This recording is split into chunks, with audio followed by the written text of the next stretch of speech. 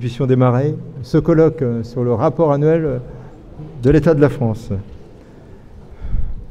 Monsieur le ministre, cher Benjamin Griveaux, Mesdames les conseillères, Messieurs les conseillers, chers amis, je vous souhaite la bienvenue à toutes et à tous à cette troisième rencontre sur l'État de la France.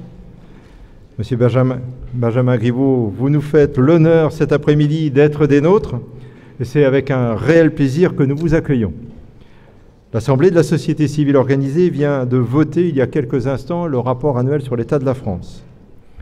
C'est un moment important pour notre Conseil car la production d'un tel rapport est unique en son genre. Seule saisine obligatoire du CESE et seul rapport de ce type demandé à l'une des trois assemblées constitutionnelles. Il est bien plus qu'un simple état des lieux.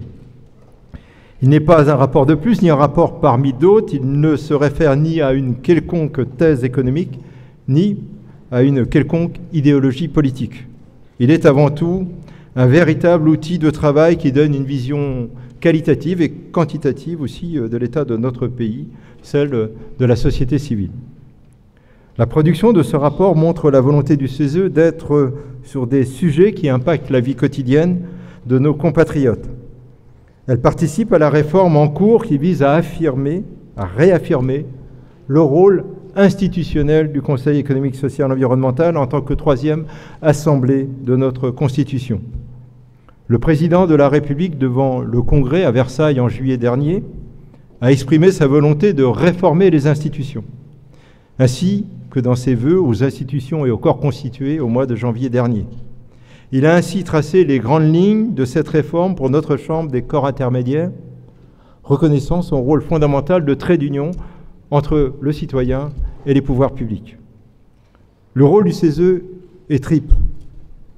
En premier lieu, il est constitutionnel, avec pour mission d'éclairer les pouvoirs publics dans leur prise de décision. Ensuite, le CESE offre aux organisations, en position de dualité à l'extérieur, un lieu où elles peuvent se parler et travailler ensemble. C'est essentiel pour notre démocratie. Enfin, le rôle du CESE est de permettre la diffusion de ses avis tant auprès du gouvernement et du Parlement qu'auprès des adhérents des organisations le composant. Le Conseil économique, social et environnemental garantit ainsi le niveau d'acceptabilité d'un projet de réforme. L'ensemble des membres du CESE ont travaillé et construit ce projet de réforme constitutionnelle. C'est une première. Nous sommes acteurs de notre réforme. Et vous nous y avez invité à l'être, Monsieur le ministre.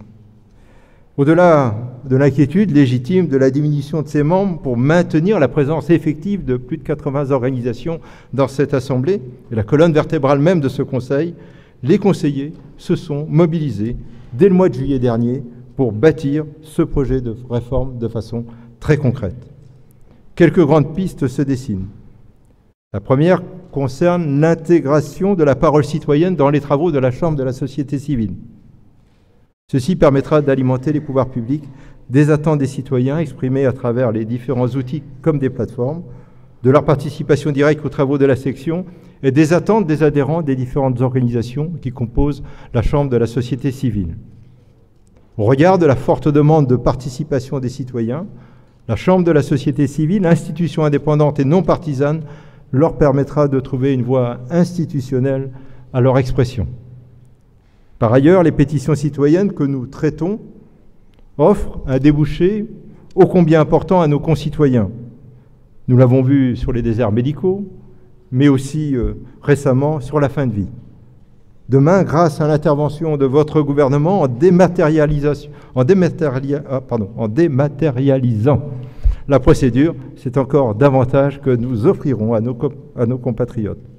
La possibilité qu'une issue leur soit ouverte au Parlement dès lors que la pétition de plus de 500 000 signatures auront été traitées par la Chambre de la société civile. La réforme doit également permettre en amont de la loi la consultation systématique par les pouvoirs publics. Aujourd'hui, le CESE est déjà saisi sur tous les projets de loi de programmation à caractère économique, social ou environnemental.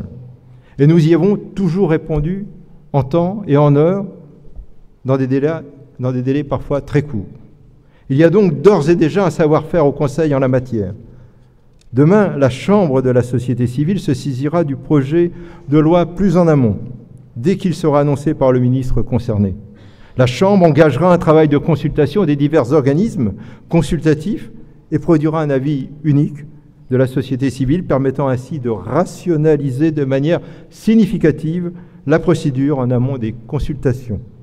L'avis unique de la Chambre offrira une lecture plus attractive, plus structurée et évitera le morcellement des positions et des avis sur un même projet par les mêmes acteurs. Ce sont là quelques éléments non exhaustifs de la réforme que nous avons appréhendés sereinement et avec méthode. Vous l'aurez compris, Monsieur le Ministre, nous sommes prêts à relever ces défis ô combien passionnants, ô combien exaltants, car nous sommes des infatigables travailleurs et d'incorrigibles optimistes. Le caractère singulier de l'exercice sur le rapport sur l'état de la France est là pour le démontrer. En effet, dans l'édition 2016, la société civile pointait une forme de pessimisme français, mais encourageait fortement au redressement. En 2017, partant du constat des inégalités dans notre pays, le CESE en appelait un esprit de réconciliation et de justice. Aujourd'hui, en 2018, la société civile insiste sur la nécessité de mieux investir pour la France pour les générations futures. Alors pour nous permettre d'en débattre plus longuement, je vais donc déclarer ouverte cette troisième rencontre des États euh, de la France suite à notre rapport sur l'État de la France. Voilà, je vais céder la parole à Marc Tronchot, qui est notre animateur et qui va voilà, animer, comme il se doit, cette partie de colloque. Mon cher Marc, vous avez la parole. Merci.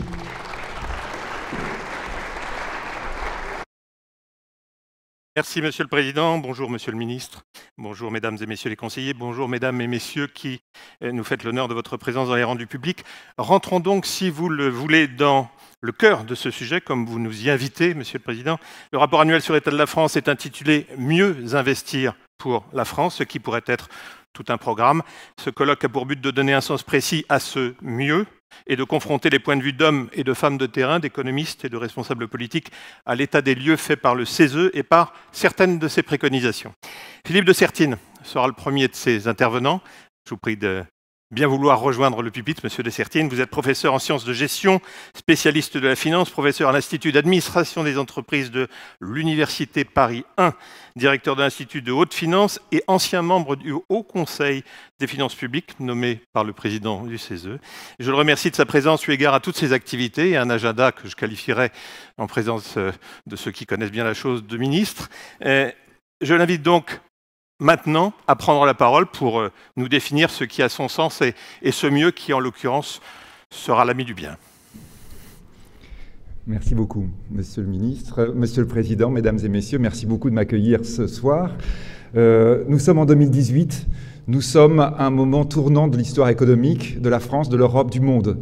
Nous sommes à un tournant parce que aujourd'hui, l'économie française, l'économie européenne, l'économie mondiale a relevé un double défi absolument historique. Oui, vraiment, les mots probablement ici prennent tout leur sens. À l'heure où je vous parle, la population mondiale est en train de dépasser exactement à l'heure où je vous parle les 7 milliards 630 millions d'habitants sur Terre. Nous étions il y a un an exactement 7 milliards 500 millions. Nous étions il y a 20 ans, en 1998, 5 milliards 900 millions. Je crois qu'il faut bien peser ce que cela signifie. Cela signifie effectivement que 20 ans après le titre de champion du monde de football de la France, la planète a pris 1 milliard 800 millions d'habitants, ce qui veut dire qu'effectivement ce sera compliqué d'être champion du monde cette année, mais ça veut dire aussi évidemment que la croissance démographique ne fait que s'accélérer, que par conséquent la croissance en général va se poursuivre. Nous sommes en 2018, nous sommes confrontés également à ce qui est probablement la conséquence de ce que je viens d'énoncer, c'est-à-dire l'évolution démographique, à l'un des plus grands défis que n'ait jamais eu à relever l'espèce humaine, c'est la question du dérèglement climatique. Le dérèglement climatique, c'est une réalité. Nous avons aujourd'hui, à l'heure où nous parlons, des phénomènes qui peuvent être qualifiés de tropicaux en France. Ils se répètent les uns après les autres. Parfois, ils nous font sourire. Parfois, on se rend compte à quel point cela signifie pour chacun que le dérèglement climatique, très vite, est quelque chose qu'il va falloir gérer en accéléré, parce qu'il peut devenir très vite quelque chose qui ne sera plus gérable. Eh bien, lorsque l'on est confronté à ces deux contraintes, on se dit comment faire Et là, peut-être, euh, ceux qui croient en la providence, ceux qui croient au hasard, ceux qui croient peut-être euh, en la divinité ou ceux qui croient tout simplement en l'homme, eh bien, nous pouvons leur dire en 2018, nous avons cette évolution absolument incroyable, l'évolution d'une quatrième révolution industrielle. La quatrième révolution industrielle est la réponse à ces deux grands défis. Elle est fondée sur une révolution scientifique. Et je crois que oui, il faut dire sans cesse à nos concitoyens, aux populations mondiales et à notre jeunesse tout particulièrement, que ce qui se passe dans la science mondiale aujourd'hui est absolument prodigieux. La science mondiale a recommencé à marcher en avant. La science n'évolue pas de manière linéaire. On peut considérer que depuis à peu près une quinzaine d'années, eh la science mondiale effectivement fait une avancée absolument extraordinaire et qui permet aujourd'hui d'avoir un certain nombre de conséquences en matière économique. En matière économique, cela signifie quoi? Cela signifie que cette quatrième révolution industrielle va permettre de changer complètement, c'est le propre d'une révolution industrielle, non seulement la manière de euh, fonctionner, la manière de produire, la manière de consommer, mais aussi la manière de vivre. Une vraie révolution industrielle signifie que lorsqu'elle a eu lieu, on ne vit plus du tout pareil qu'avant qu'elle ait commencé. La révolution industrielle qui nous concerne, c'est probablement la plus importante de toute l'histoire, parce qu'effectivement, elle va concerner une planète qui n'a jamais été aussi nombreuse, et parce qu'elle va concerner ensemble la totalité de l'humanité, ce qui n'est jamais arrivé. Cette révolution industrielle, si on doit la résumer très vite, elle signifie quoi? Elle signifie la possibilité enfin de penser la déconcentration. La déconcentration, c'est exactement le phénomène inverse de celui qui avait été créé par la deuxième révolution industrielle, celle qui avait commencé, on va dire, à la fin du 19e siècle et qui s'est poursuivie jusqu'aux années 1920-1930. Cela signifie effectivement que nous pouvons penser l'économie différemment que ce modèle qui est le nôtre, issu de cette seconde révolution industrielle. Nous pouvons penser l'économie différemment de ce qu'elle a été depuis les années 1950 l'époque où la planète comptait 2 milliards 500 millions d'êtres humains, peut-être faut-il le rappeler, le modèle qui est le nôtre aujourd'hui est complètement inadapté à cette humanité, à 7 milliards 600 millions d'habitants. Cette révolution industrielle, elle commence juste. L'image voudrait que l'on lui compte 10 000 marches et nous n'avons même pas commencé la première. Cette révolution industrielle, parfois nous la voyons, et nous la voyons peut-être au travers de ces petites choses que nous avons devant nous, ce téléphone portable, ce numérique, qui est souvent ce qui permet de représenter qu'elle commence juste. Mais rappelons-le, nous n'avons pas encore changé de mode de vie, donc il ne s'est encore rien passé. Cette révolution industrielle, elle se traduit déjà d'un point de vue économique par l'apparition au sommet, on va dire, de la hiérarchie des entreprises mondiales, d'entreprises nouvelles, d'entreprises qui n'existaient pas il y a 25 ans, qui n'existaient pas il y a parfois 10 ans. Des entreprises qui sont en train de dominer la planète. Évidemment, nous pensons aux GAFAMs américains, mais nous, nous devons rappeler que les GAFAM américains considèrent qu'ils vont disparaître très vite. Parce que la règle d'une révolution industrielle est que les choses changent beaucoup plus vite que dans les périodes qui sont celles que nous avons connues depuis 50 ans, c'est-à-dire les périodes pendant lesquelles nous gérons, nous manageons la révolution précédente. Les GAFAM pensent qu'ils vont disparaître et aujourd'hui ce qui les inquiète le plus, ce sont les BATIX, pour reprendre l'autre acronyme, les quatre grandes sociétés de ce nouveau monde qui sont apparues dans la Chine d'aujourd'hui. Et là, évidemment, il faut insister sur le fait aujourd'hui que lorsque l'on parle révolution industrielle, lorsque nous sommes en train de parler de ce changement profond dont a besoin l'humanité en accélérer, eh bien l'Europe n'est pas là. L'Europe n'est pas là d'un point de vue économique, j'entends bien. Elle est là d'un point de vue scientifique. Il n'y a aucun doute. Nous comprenons ce qui se passe du point de vue de la révolution scientifique.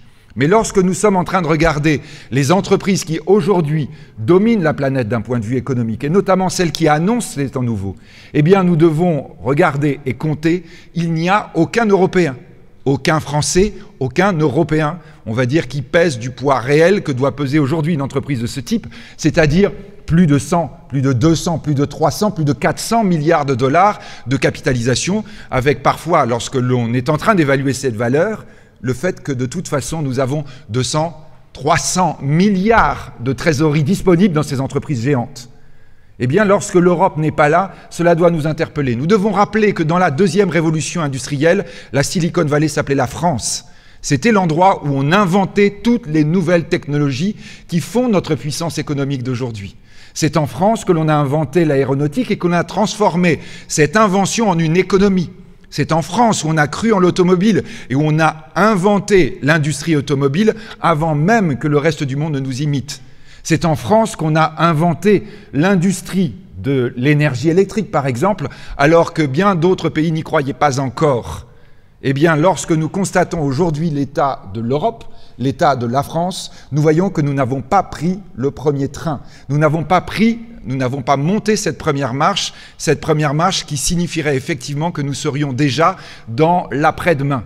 Et cela doit nous préoccuper parce que nous voyons à quel point aujourd'hui, et bien entendu, on peut évoquer la question des données, on peut évoquer tout ce que peut revêtir comme inquiétude cette nouvelle révolution économique. Nous sommes aujourd'hui, Européens, dans une posture de consommateurs et non de producteurs. Et aujourd'hui, lorsque nous parlons notamment des données personnelles, lorsque nous parlons de ces big data qui sont le cœur de la révolution industrielle, nous sommes obligés de constater que nos scientifiques sont utilisés dans toutes les grandes structures mondiales qui sont leaders dans ces questions, mais que nos scientifiques ne sont pas dans des entreprises géantes européennes. Et cela, évidemment, est la première chose qui doit nous, inquiéter. Alors cela signifie quoi? Cela signifie que cette révolution industrielle qui commence juste, elle concerne tous les secteurs d'activité. Elle concerne toutes les entreprises. J'ai évoqué celles qui sont devant, celles qui surfent la vague, celles qui sont ces entreprises californiennes, qui sont effectivement celles qui nous montrent là où nous devons aller. Mais nous devons aussi évoquer toutes les autres entreprises qui, à un moment donné, se rendent compte que la rupture va devoir être complète. À partir du moment où, où on se satisfait de son modèle ancien, on est forcément dans l'erreur, car la rupture va être totale, la rupture va être à tous les niveaux, comme c'est le cas dans toutes les révolutions industrielles. La certitude est la pire des, euh, sentiments, ou le pire des sentiments, pardon, lorsqu'on est dans une situation de révolution industrielle. Alors cela veut dire quoi aussi maintenant? Si on regarde que nos entreprises, nos scientifiques sont prêts à la révolution mais ne le vivent pas, cela signifie tout simplement que nous avons un problème majeur d'investissement. La raison pour laquelle aujourd'hui nous avons des entreprises qui parfois émergent, et nous sommes très bons pour les jeunes pousses. Je suis du sud-ouest, j'ai souvent l'habitude de dire que nous sommes le bassin d'Arcachon de l'ostréiculture technologique. Toutes les petites entreprises prometteuses naissent chez nous. Mais ensuite, lorsqu'elles vont vraiment créer de la valeur, lorsqu'elles vont devenir des entreprises mondiales, elles ne seront plus dans le bassin d'Arcachon. Et je peux vous dire qu'en matière ostréicole, c'est un vrai problème à Arcachon. Eh bien, en matière aujourd'hui de révolution industrielle, nous devons nous interroger. Pourquoi une entreprise, une entreprise, allez, on va prendre un exemple qui est tellement typique comme Criteo, une entreprise formidable comme venteprivé.com, comme Blablacar, lorsqu'elle va devoir se développer, va se développer avec des capitaux américains ou des capitaux asiatiques, pourquoi n'est-il pas possible qu'elle se développe en Europe? L'Europe a l'épargne, a la capacité financière pour le faire. Mais nous sommes obligés de constater qu'aujourd'hui, notre épargne, notre capacité d'investissement est focalisée sur l'ancien monde, sur l'ancienne organisation, que ce soit économique ou que ce soit politique. Et que lorsqu'aujourd'hui nous sommes en train de parler du problème de l'Europe, de la manière dont la jeunesse peut se réapproprier l'Europe, c'est peut-être d'abord en lui disant que l'investissement de l'Europe doit être tourné vers demain et non pas vers hier. Je vous remercie de votre attention. Mm.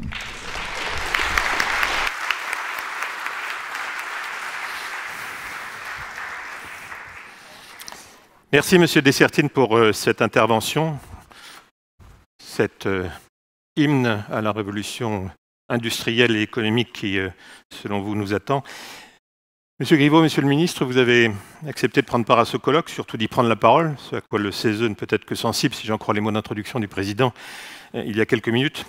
Euh, vous êtes euh, donc le porte-parole de ce gouvernement. Je vous invite donc à rejoindre cette tribune pour nous dire à votre tour ce qu'est le credo du gouvernement que vous représentez sur cette question majeure de l'investissement, et puis pourquoi pas quelques notations sur ce qu'est votre credo personnel. Bien, bonjour à toutes et à tous à nouveau. Monsieur le Président, cher Patrick, Mesdames les rapporteurs, mesdames et messieurs les conseillers, moi je suis heureux d'être ici. J'ai comme euh, un sentiment de petite Madeleine de Proust, ce que je disais à ma voisine. Je crois que les rapports du Conseil économique et social ont accompagné mes années d'études et où je révisais assidûment le rapport annuel sur l'état de la France, puisque immanquablement, nous étions interrogés au partiel de fin d'année ou au concours qui se déroule début septembre, et que euh, vous avez été pour moi une source inépuisable de révision, de fiches, apprises consciencieusement, euh, ce qui ne m'a pas permis de réussir tous mes examens, mais quelques-uns d'entre eux malgré tout. Donc euh, ça a une saveur particulière. Je ne m'imaginais pas un jour avoir euh, à réagir à la présentation de ce rapport annuel dont vous avez décidé de le consacrer à l'investissement. Nous partageons beaucoup de choses, cher Patrick, et je suis sûr qu'il y a deux éléments que nous partageons. C'est que nous sommes nous aussi travailleurs. Le président de la République est connu pour peu dormir et que nous sommes déraisonnablement optimistes, parfois dans un océan de morosité. Vous dire que, peut-être avant de revenir euh, sur l'année qui vient de s'écouler, vous dire que cette année a été euh, l'année du retour de l'attractivité de la France, l'année euh, du fameux, comme on dit en bon français, France is back, que j'ai accompagné moi quelques mois à Bercy auprès de Bruno Le Maire et que j'ai pu mesurer dans le regard qu'avaient nos partenaires étrangers, qu'ils soient institutionnels ou entreprises, à l'égard de la France, avec un moral des entreprises qui est au plus haut depuis 10 ans, avec un bond de 30% dans les investissements internationaux, de 50% en matière industrielle, et avec euh, le euh, rapport remis hier par un cabinet indépendant, Ernst Young, plaçant euh, pour la première fois au regard des investisseurs européens Paris devant Londres. Alors, évidemment, le Brexit n'est pas totalement étranger à cet état de fait, mais je crois que l'on peut collectivement se dire que le regard que nos partenaires portent sur notre pays a sans doute changé, qu'il va falloir accompagner ce mouvement, que les déclarations d'amour sont évidemment importantes, mais que les preuves d'amour le sont encore plus. Ces résultats, évidemment, sont encourageants, mais nous devons rester lucides. La vie reste immensément difficile pour des millions de nos concitoyens qui connaissent le chômage, la pauvreté et ce que le président de la République a l'habitude d'appeler l'assignation à résidence. Le futur se prépare et nous devons relever des défis importants, parmi lesquels la transition écologique, de notre modèle de développement qui a été brillamment abordé dans l'intervention précédente par M. Dessertine, et l'adaptation du monde du travail à l'immense disruption, l'immense transformation numérique dans un univers schumpeterien. Bien, à nous d'en saisir les opportunités et d'assurer cette transition pour les générations à venir. Pour répondre à ce constat, il est euh, essentiel de mieux investir pour la France, pour reprendre le titre que vous avez euh, donné à ce rapport annuel, et vous nous invitez à renforcer la dynamique de cet investissement. Moi, je voudrais euh, revenir brièvement sur les politiques que nous avons engagées et qui me semblent trouver un écho particulier avec les éléments que vous développez dans votre rapport. Notre logique et au fond la politique conduite repose sur trois piliers. Le premier pilier, c'est la création d'un cadre qui permette de dynamiser l'investissement privé le deuxième, c'est l'orientation de l'investissement public vers des priorités bien identifiées. Et le troisième pilier, c'est le renforcement de l'investissement social pour combattre les inégalités à la racine. Le premier axe, c'est le développement d'un cadre favorable à l'investissement privé. Ça a été dit. C'est ce que permet euh, en premier lieu la réforme que nous avons engagée dès l'été dernier du Code du travail et à laquelle Muriel Pénicaud a apporté euh, son talent et son énergie. Jusqu'à l'année dernière, de très nombreux investisseurs étaient dissuadés par un cadre législatif, disons-le, parfois un peu rigide et euh, parfois même un peu kafkaïen pour euh, ceux qui ne sont pas des exégètes de ce Code du travail. En favorisant le développement d'un véritable dialogue social, ces ordonnances ont permis euh, aux entreprises d'obtenir plus de souplesse et de visibilité, deux éléments indispensables à leur développement. Elles sont aussi l'expression de la confiance du gouvernement dans le rôle des partenaires sociaux au sein des entreprises parce qu'elles ont marqué un très grand mouvement de décentralisation sociale. Un deuxième élément important, c'est la réforme fiscale que nous avons adoptée dans le cadre du budget qui a été voté à la fin de l'année dernière, qui est sans doute la plus grande refonte de notre fiscalité depuis 30 ans. Il y a les mesures qui touchent directement à la fiscalité de nos entreprises, et vous le savez, le souhait de rapporter à 25% euh, le montant de l'impôt sur les sociétés, on part de 33 en 5 ans, la transformation du CIC en allongement de charges pérennes, et puis la transformation radicale de la fiscalité du capital qui vient faire écho aux propos que vous veniez de tenir, monsieur le professeur. Euh, nous avions un système lourd et complexe qui, disons-le, décourageait le risque et l'investissement productif. En France, euh, si vous réussissiez, vous étiez euh, soumis à toutes les suspicions, et quand vous échouiez, vous n'aviez pas de seconde chance, ce qui laissait, vous en conviendrez, un chemin étroit, puisque nous n'avions ni le droit de réussir, ni le droit d'échouer. Notre choix est évidemment à l'opposé. C'est un système simple et lisible pour récompenser le risque plutôt que la rente. C'est la flat tax, c'est euh, les différents mécanismes sur lesquels je ne reviendrai pas. C'est le remplacement de l'ISF par un impôt sur la fortune immobilière qui a fait couler beaucoup d'encre, mais qui envoie un signal fort pour encourager les Français à placer leur argent non dans la rente immobilière, mais dans le développement de nos entreprises. C'est le développement d'un capitalisme populaire que nous appelons de nos voeux. Avec euh, ces deux grandes transformations, celle du travail et du capital, Je viens au fond d'évoquer une réconciliation qui a tant fait défaut à notre pays depuis euh, de nombreuses décennies, c'est celle du capital et du travail. Les gouvernements qui se sont succédés ont alternativement, par choix idéologique souvent plus que par pragmatisme, favorisé soit le capital pour les uns, soit le travail pour les autres, je vous laisse faire l'exégèse. Et au fond, on a réussi ce miracle très français en favorisant alternativement le capital ou le travail à n'avoir ni l'un ni l'autre. Nous manquons de capitaux pour financer nos entreprises et euh, on le disait, on est très fort sur les jeunes pousses et on est immensément fort sur les entreprises du CAC 40. Si vous avez besoin de 100 000 euros ou 10 milliards, vous les trouvez. 100 000 euros auprès des opérateurs euh, locaux et euh, les quelques milliards d'euros sur les marchés. Mais quid de nos entreprises, dans nos territoires, nos PME, qui font qu'en France, par exemple, elles ont de mal à devenir des entreprises de taille intermédiaire, qui fait que euh, nous comptons 4000 ETI en France quand nos voisins allemands en comptent trois fois plus, nos voisins italiens ou britanniques en comptent, eux, deux fois plus. Nous manquons de financement et nous voyons passer sous pavillon étranger en permanence des pépites françaises. Il y a euh, un exemple célèbre euh, dans le sud-ouest français qui vous est cher, d'une entreprise dont je ne ferai pas la pub, la publicité ici, bien sûr, mais qui intervient dans le domaine de la médecine technologique, à haute technologie, on voit à peu près de laquelle je parle, qui est passée sous pavillon étranger parce qu'elle ne trouvait pas les quelques millions d'euros nécessaires à l'investissement, à l'innovation et à pouvoir poursuivre son implantation en France. C'est cette réconciliation qui a été engagée, engagée dès les premières semaines de ce quinquennat. La loi Pacte sera présentée en Conseil des ministres. Alors ça s'est tenu cette semaine un mardi. La semaine prochaine, nouvelle innovation, ce sera un lundi, puisque le président de la République euh, a des déplacements prévus le reste de la semaine. Et donc lundi, nous présenterons au Conseil des ministres un projet de loi Pacte qui viendra compléter le tableau moi, j'ai euh, commencé à travailler sur ce projet lorsque j'étais à Bercy. On a fait euh, quelque chose d'assez euh, nouveau. L'hôtel, alors on a moins de ministres qu'auparavant et on a beaucoup moins de conseillers. Donc nous avons des mètres carrés vides. Comme j'ai passé quelque temps dans l'immobilier, je déteste les mètres carrés vides. Ils sont mal employés et donc nous avons nettoyé un étage de l'hôtel des ministres de Bercy dans lequel nous avons mis des binômes, un chef d'entreprise et un parlementaire, et dans lequel nous avons fait tomber les cloisons de ce bâtiment à l'architecture si avenante et qui engage au dialogue par ses courbes bucoliques, disons-le.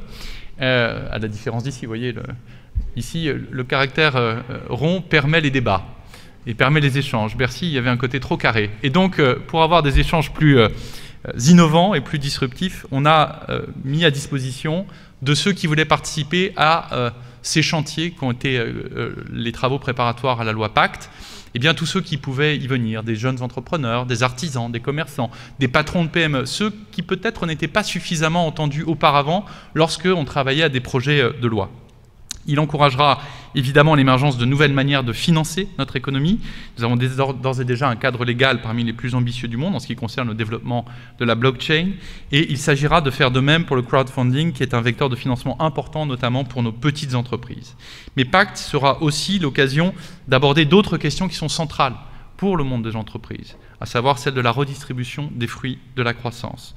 Car la croissance n'est juste que si elle est partagée, captée par quelques-uns elle perd tout son sens. Cette politique en faveur de l'investissement privé s'accompagne d'un investissement public qui est repensé et orienté vers des priorités clairement identifiées. Vous nous invitez à une sélectivité accrue des choix de projets. Et vous avez raison.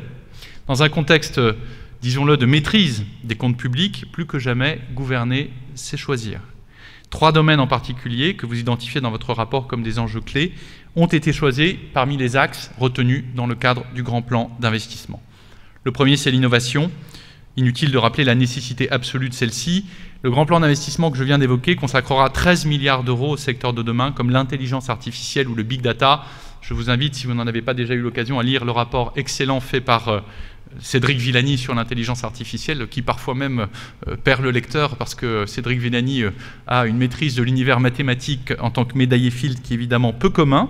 Et euh, nous avons bénéficié à plein d'avoir un médaillé Field à l'Assemblée nationale, chose rare s'il en est, pour lui confier ce travail important. C'est le troisième volet du programme d'investissement d'avenir avec une enveloppe de près de 10 milliards d'euros qui permettra notamment une meilleure valorisation de notre recherche. Et c'est aussi le fonds pour l'innovation de rupture avec euh, la dotation de 10 milliards d'euros qui viendront des cessions des titres de participation de l'État dans certaines entreprises. Je ne doute pas que nous allons euh, euh, évidemment entendre parler dans les jours et les semaines qui viennent et qui permettra de financer des projets de long terme et au fond de s'affranchir de la dictature de l'urgence et du short-termisme qu'ont parfois les marchés et qu'imposent les marchés à des secteurs où on a, en termes de recherche fondamentale, des besoins de temps long dans un univers où pourtant chaque jour les, les enjeux s'accélèrent. Le deuxième enjeu prioritaire pour les investissements de l'État, c'est la transition écologique. Ça s'inscrira évidemment dans une logique européenne. La conviction qui est la nôtre, c'est que vraisemblablement l'élection européenne qui se tiendra l'an prochain aura euh, en son cœur des enjeux de protection sur la question migratoire, à l'évidence, sur la question de la protection commerciale de nos marchés, mais aussi de pouvoir permettre d'identifier pour la jeunesse européenne le projet concret sur la question de la transition énergétique qui sera absolument central et en tout cas comptez sur nous pour le mettre au cœur du débat européen. Le grand plan d'investissement consacre à la transition énergétique des moyens, 9 milliards pour améliorer l'efficacité énergétique des logements des ménages les plus modestes et des bâtiments publics, 4 milliards pour améliorer la mobilité du quotidien, car les transports sont responsables, rappelons-le, du tiers des émissions de gaz à effet de serre et des particules fines, et puis 7 milliards pour financer la hausse de 70% de la capacité de production d'énergie renouvelable. Troisième priorité, enfin, la formation. C'est la mère de toutes les batailles. C'est évidemment indispensable pour nos entreprises. Je crois qu'il n'y a pas euh, un chef d'entreprise euh, qui ne m'ait interpellé un jour en expliquant qu'il était quand même étrange dans un pays qui connaissait un taux de chômage, alors heureusement plus à deux chiffres, ramené à 9%, mais c'est encore évidemment trop, euh, qu'il ne comprenait pas comment il n'arrivait pas à embaucher dans un pays où il y avait plus de 3 millions de chômeurs. Et j'avoue qu'à chaque fois, j'étais un peu sec sur la réponse à lui apporter. La formation, c'est évidemment indispensable pour nos entreprises, c'est tout aussi indispensable pour nos concitoyens. On estime qu'environ 50% des métiers sont appelés à se transformer. Certains, notamment euh, du fait euh, de l'émergence des euh, techniques liées à l'intelligence artificielle ou au big data, vont tout simplement disparaître dans les 5 ans, dans les 10 ans. On a là-dessus des rapports d'experts qui se multiplient et nous ne pouvons rester inertes face à cette urgence qui s'annonce. Il faut donc accompagner ces transformations parce que, et nous ne le dirons jamais assez, la meilleure des protections contre le chômage, c'est la formation, c'est l'éducation, c'est les compétences, c'est l'intelligence. Le grand plan d'investissement y consacre ainsi 15 milliards d'euros pour permettre, d'ici la fin du quinquennat, de former un million de chômeurs de longue durée, éloignés donc durablement de l'emploi, et le million 300 000 décrocheurs. Ce sont des jeunes qui ont entre 15 et 25 ans et qui n'ont rien, qui n'ont pas d'emploi, qui n'ont pas de formation, qui n'ont aucun diplôme. C'est à cela que nous voulons nous adresser en priorité au travers de ce grand plan d'investissement auquel nous consacrons 15 milliards d'euros. Et je veux, moi, terminer pour dire un mot sur euh, un autre investissement, qui lui est un réel investissement du temps long, et qui donc euh, n'a sans doute pas le vent en poupe euh, dans parfois la dictature de l'urgence du monde politique, qui est la question de l'investissement social. L'investissement social, c'est euh, investir pour combattre euh, ce mal qui mine depuis euh, trop longtemps notre pays et qui est l'assignation à résidence, qui est la quasi-certitude quand on est dans la précarité qu'on y restera toute sa vie et que vraisemblablement ses enfants y resteront aussi. C'est la pire trahison de la promesse républicaine de l'ascenseur social. Et cette assignation à résidence, elle s'est développée ces 20 dernières années J'invite à la lecture du Parisien que vous m'avez soumis, Monsieur le Président, discrètement sur le coin de table demain, et qui montrera justement la question de ces inégalités de revenus. L'investissement social, c'est euh, non pas se limiter à avoir un état de réparation des inégalités une fois qu'elles ont été produites par le marché, mais c'est bien évidemment les accompagner, mais c'est aussi empêcher qu'elles se créent, c'est attaquer le mal à la racine, c'est ne pas se limiter à une action sur les symptômes du mal, mais bien attaquer les racines profonde de ce mal. Disons-le, il n'est pas là question de faire le procès de quiconque. Dans un pays qui compte 9 millions de personnes sous le seuil de pauvreté, 3 millions d'enfants sous le seuil de pauvreté, 4 millions de personnes mal logées, où nous avons un chômage endémique, au-delà de 25% chez les moins de 25 ans, parfois au-delà de 50% dans certains de nos quartiers, quand nous avons 10 ans d'espérance de vie en moins pour un ouvrier que pour un cadre, nous pouvons collectivement légitimement considérer que notre modèle social qui fait notre identité de Français et même au-delà notre identité d'Européens, eh bien, a failli. Que le modèle qui a été imaginé par euh, les pères de l'État-providence après le second conflit mondial ne répond plus aujourd'hui aux disruptions du monde. On l'a dit, le monde professionnel a changé. Ma génération, on fera sans doute quatre ou cinq métiers différents dans des secteurs différents et euh, certainement pas dans la même entreprise la génération qui suit, ils feront dix métiers différents. Ce n'était pas le cas de mes parents ou de mes grands-parents, qui étaient souvent dans le même secteur d'activité, parfois dans la même entreprise, toujours dans le même territoire. Donc le monde du travail a changé. Nous avons pour la première fois quatre générations qui cohabitent. C'est la première fois dans l'histoire de l'humanité. Il faut repenser nos solidarités entre les générations. Et tout cela fait que le nouveau modèle social français doit porter un état d'investissement social. Un état qui non pas se limite à dépenser, mais qui investit massivement. Et euh, je le dis, la meilleure des politiques sociales, c'est l'éducation. La meilleure des politiques sociales, c'est la formation. La meilleure des politiques sociales, c'est le travail. C'est ainsi que nous arriverons à juguler les chiffres que je vous ai donnés et qui euh, étaient sans doute des chiffres assez proches que j'égrenais déjà dans mes copies d'étudiants il y a bientôt 20 ans. On ne peut plus avoir euh, près de 130 000 décrocheurs scolaires chaque année. Ça veut dire que la nation sacrifie chaque année 20% d'une génération. Et cela, évidemment, c'est insupportable en termes moraux, c'est insupportable en termes éthiques, c'est euh, la fin de la promesse républicaine, et c'est insupportable en termes économiques et sociaux. L'investissement social, c'est aussi euh, ce que nous faisons en matière de formation professionnelle. Je ne reviendrai pas, vous connaissez euh, bien ce texte que Muriel Pénicaud défend depuis hier à l'Assemblée nationale. C'est faire en sorte que, eh bien, on remette de la justice dans le modèle. Il est invraisemblable d'être dans un pays où nous formons deux fois plus les cadres que les ouvriers et deux fois plus les ouvriers que les chômeurs il était invraisemblable de continuer à avoir des comptes formation euh, calculés en heures et non pas en euros, quand on sait qu'une heure de formation d'un cadre est évidemment un peu plus chère qu'une heure de formation d'un ouvrier. Parce que nous continuons à mettre les capitaux publics sur ceux qui ont plus de capitaux privés. Eh bien, le nouveau modèle d'investissement social, c'est concentrer les capitaux publics sur ceux qui ont moins de capitaux privés, sur ceux qui n'ont pas le même capital culturel, sur ceux qui n'ont pas le même capital social de départ. C'est ainsi que nous arriverons à en finir avec les inégalités de destin. Toutes ces mesures, euh, ce sont des investissements sur un temps long, sur un temps très long.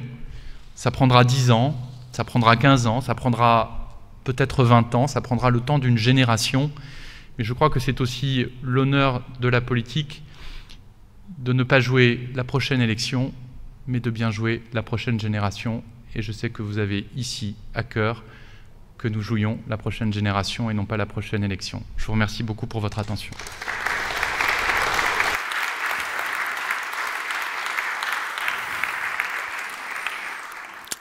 Merci, Monsieur le Ministre. J'espère que ce moment vous a été agréable, vous a fait oublier ces dizaines de fiches que cette institution vous a indirectement obligé à écrire il y a quelques années. C'est parfait. Il est entendu dans les limites des possibilités qu'offre votre agenda, euh, Monsieur Griveaux, que nous, allons ouvrir une table ronde dans quelques, dans quelques instants et que vous êtes le bienvenu à cette table ronde si d'aventure votre agenda le permet, mais non, ça ne va pas être possible. Manifestement, euh, le gouvernement n'est pas la plus simple en termes d'agenda. Et l'agenda de ministre, la formule consacrée, je vous assure, prend tout son sens dans son agenda. Et je ne vous cache pas que l'actualité du jour dont vous imaginez qu'elle est euh, sur la question notamment de l'Aquarius. Euh, D'accord. Donc vous allez porter la parole là. Je vais euh, d'abord regarder ce que vous ne voyez que 5% du job. Quand je oh, je connais un peu ce job. 95% du job, ça ne se voit pas. Bon courage. Merci beaucoup. Pardon.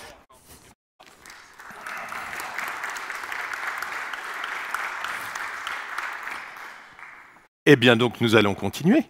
Euh, donc, je disais, en préambule à cette table ronde, on va revenir, si vous voulez bien, sur euh, ce qu'ont ressenti les rapporteurs de euh, ce rapport. On ne va pas revenir sur le contenu du, rapport annuel sur l'état de la France. on va, on l'a déjà fait pendant la séance plénière, mesdames. je vous en prie, gagnez cette, cette tribune. non, je voudrais revenir sur ce que vous en avez retiré plus spécialement. Je vais me mettre là parce que cette tribune, euh, allez-y, installez-vous.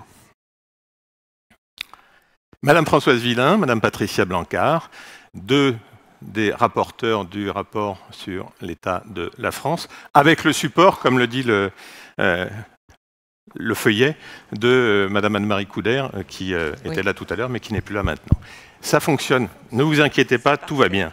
Euh, intéressant, je disais euh, ce qui vous a marqué dans ce rapport, euh, en rappelant peut-être en premier lieu, Patricia Blancard, ce qui a présidé au choix de, ce sujet, l'investissement, le mieux investir, comment les choses se sont un petit peu déroulées au fur et à mesure, comment vous avez peut-être vu émerger certaines choses auxquelles vous attendiez, d'autres auxquelles vous ne vous attendiez peut-être pas.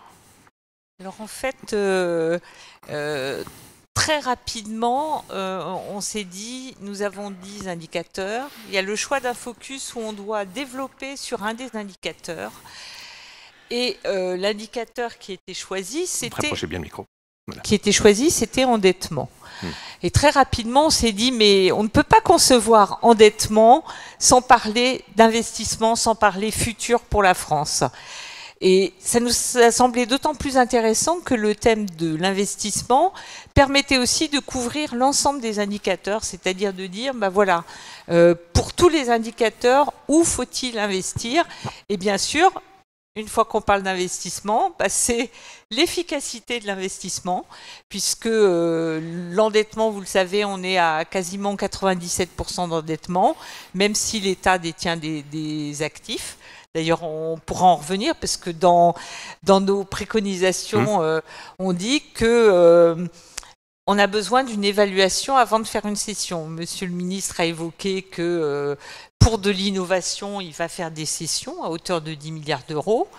Euh, c'est une bonne idée, sous réserve qu'on ait effectivement euh, analysé avant quel impact ça a pour euh, l'ensemble de, la société. Mmh. Madame Villain, sur cette même question Je partage tout à fait ce point de vue. c'est vrai que L'investissement a été pour nous la façon de dire les choses s'améliorent un peu. Ça a été dit plusieurs fois ici, un peu. Hum. Euh, la croissance repart un peu, le, taux de décrochage scolaire diminue, le taux de pauvreté diminue un petit peu, et le taux de chômage diminue, tout ça va dans le bon sens, même si les stocks sont très importants, même si la pauvreté reste très importante, le, le nombre d'enfants en décrochage scolaire reste très important que tout ça va dans le bon sens, alors, on s'est dit, profitons-en. Euh, si on a des feux verts qui s'allument, faisons en sorte d'en profiter de manière la plus efficace possible. La plus efficace possible, c'est d'investir, Patricia, le mieux possible dans les.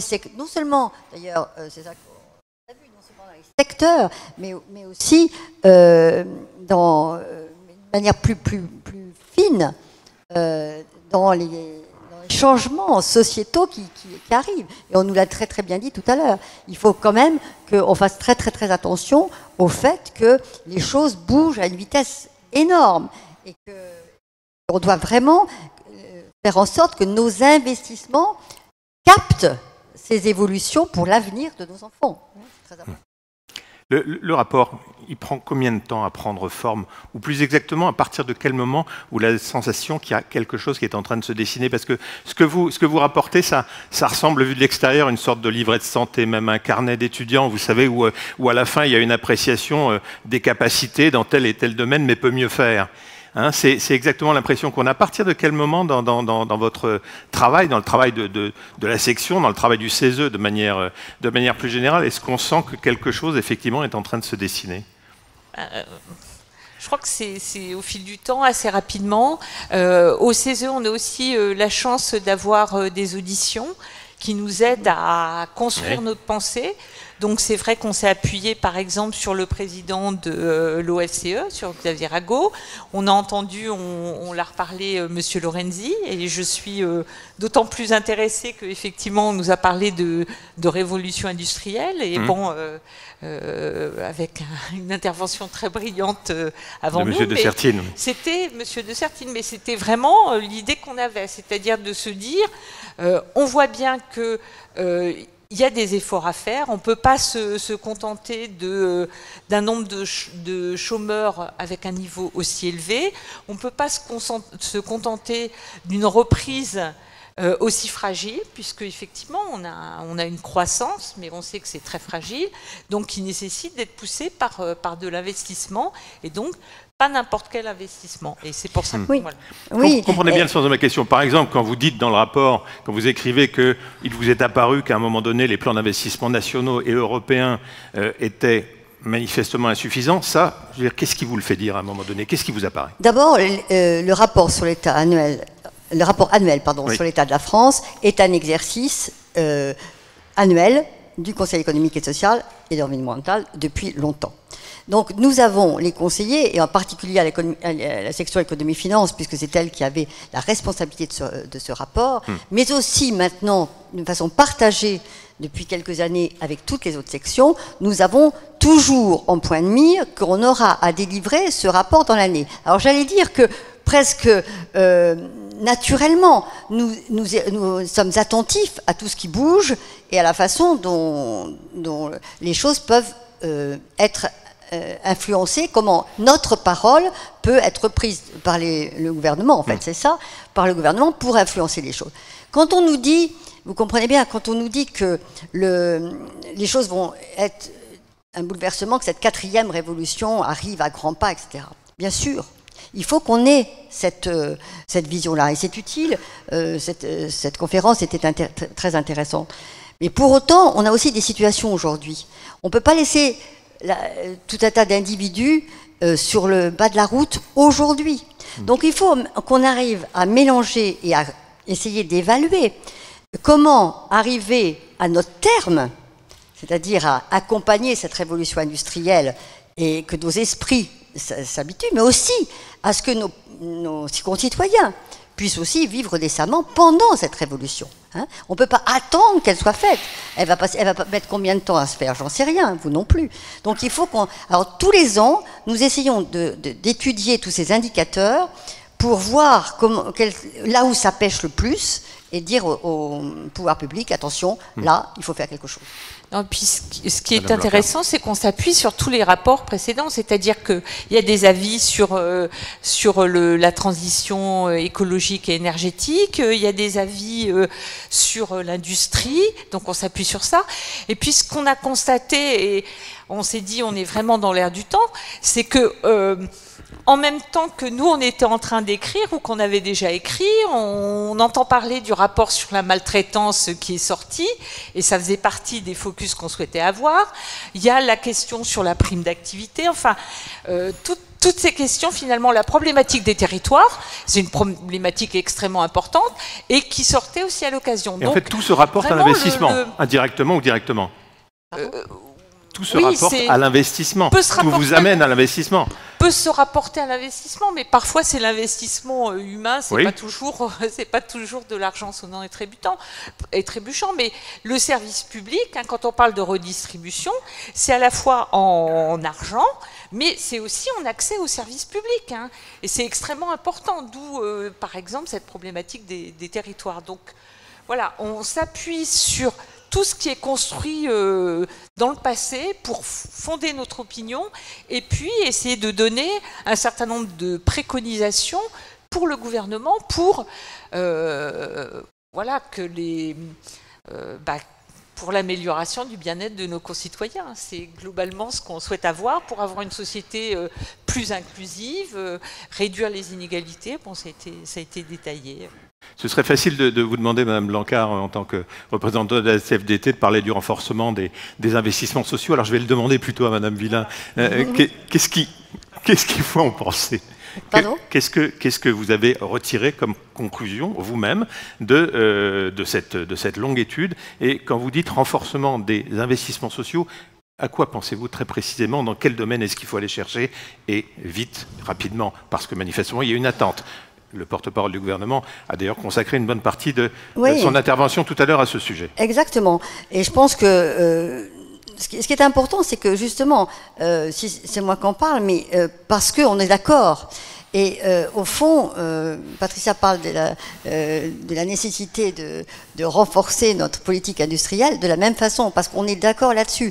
On, on pense bien, et moi sur les investissements sociaux, je suis très à l'aise pour vous dire que je considère que les investissements sociaux sont et je l'ai dit même dans une vidéo, je crois, non seulement parce que euh, notre idéal républicain ne permet pas euh, qu'on laisse des gens sur le côté, même, si c'est la réalité, on ne le souhaite pas. Hein, d'une part, mais aussi parce que ça, pèse énormément sur la croissance et le développement économique. Donc, euh, plus les gens travailleront et mieux ils seront, ils auront de satisfaction, plus ils dépenseront, plus toute la machine marchera. Donc, euh, de toute façon, les investissements sociaux sont une nécessité économique. Hein. Ça, on est bien conscient de ça tant du côté des entreprises que du côté des syndicats. Alors maintenant, ça, c'est facile à dire. Euh, après, il faut aller dans le détail des choses. Hmm. Et le détail des choses est plus compliqué. Euh, la lutte contre la pauvreté, c'est vraiment quelque chose de très important. Alors, on a vu quand même qu'il y a des, en ce moment, il y a des politiques qui arrivent. Euh, Patricia en a parlé sur la prime d'activité et d'autres. Il, y a des politiques qui ont des effets positifs et qui sont très utiles à, à nos populations. Mais il y a encore, et ce qui nous inquiète, euh, des trappes de pauvreté dans lesquelles... Mais le, ministre en a parlé, ça m'a fait plaisir qu'il parle de ça, parce que c'est vrai, il y a des, gens qui, une fois qu'ils sont tombés dans cette grande pauvreté, n'arrivent pas à s'en sortir. Et ça, on essaye les uns et les autres de trouver des solutions. Et pour nous, alors là du coup, je reprends mon côté entreprise, pour nous, c'est vraiment par le travail qu'on arrivera à ouvrir mieux les portes des entreprises, alors, euh, comment faire? Ben, Il faut peut-être aider un peu plus les entreprises pour qu'elles y arrivent. Mais en tout cas, c'est par le travail qu'on arrive à, progresser dans, la société. Madame Blancard. Euh, et, moi, je peux prendre l'autre côté, c'est-à-dire euh, l'efficacité eh des investissements, c'est extrêmement important parce que l'argent public ne peut pas être dilapidé. C'est quelque chose d'important et donc pour l'avenir, pour le futur de la France, euh, avoir une évaluation, avoir des études d'impact, euh, c'est extrêmement important. C'est d'autant plus important pour les collectivités territoriales parce que les collectivités territoriales, c'est environ 60% des dépenses d'investissement public.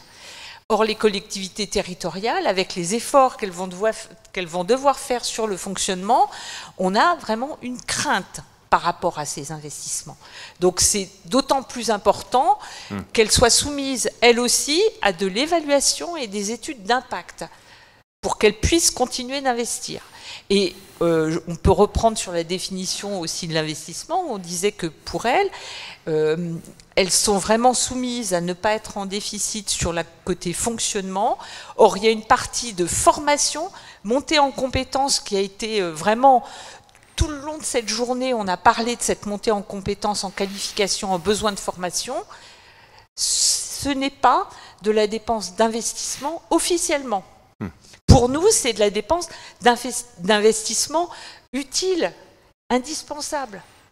Merci, je pense que c'est une excellente Juste un mot. conclusion. Je voudrais pas qu'on quitte là sans, sans, dire quand même que tout ça, et, j'étais sensible dans les, euh, dans les propos qui ont été tenus par l'économiste qui nous a parlé tout à l'heure, et puis même euh, aussi euh, le ministre, je, je, pense que, enfin nous avons pensé dans, le, dans ce rapport que l'Europe a un rôle déterminant à jouer. Et je voulais pas qu'on passe hmm. ce petit moment sans en parler, parce que tout ça doit être intégré, intégré dans, dans une politique européenne d'investissement qui nous, qui nous prépare aux grandes révolutions industrielles. Merci mesdames pour cette euh, interview croisée, et j'allais dire même parallèle.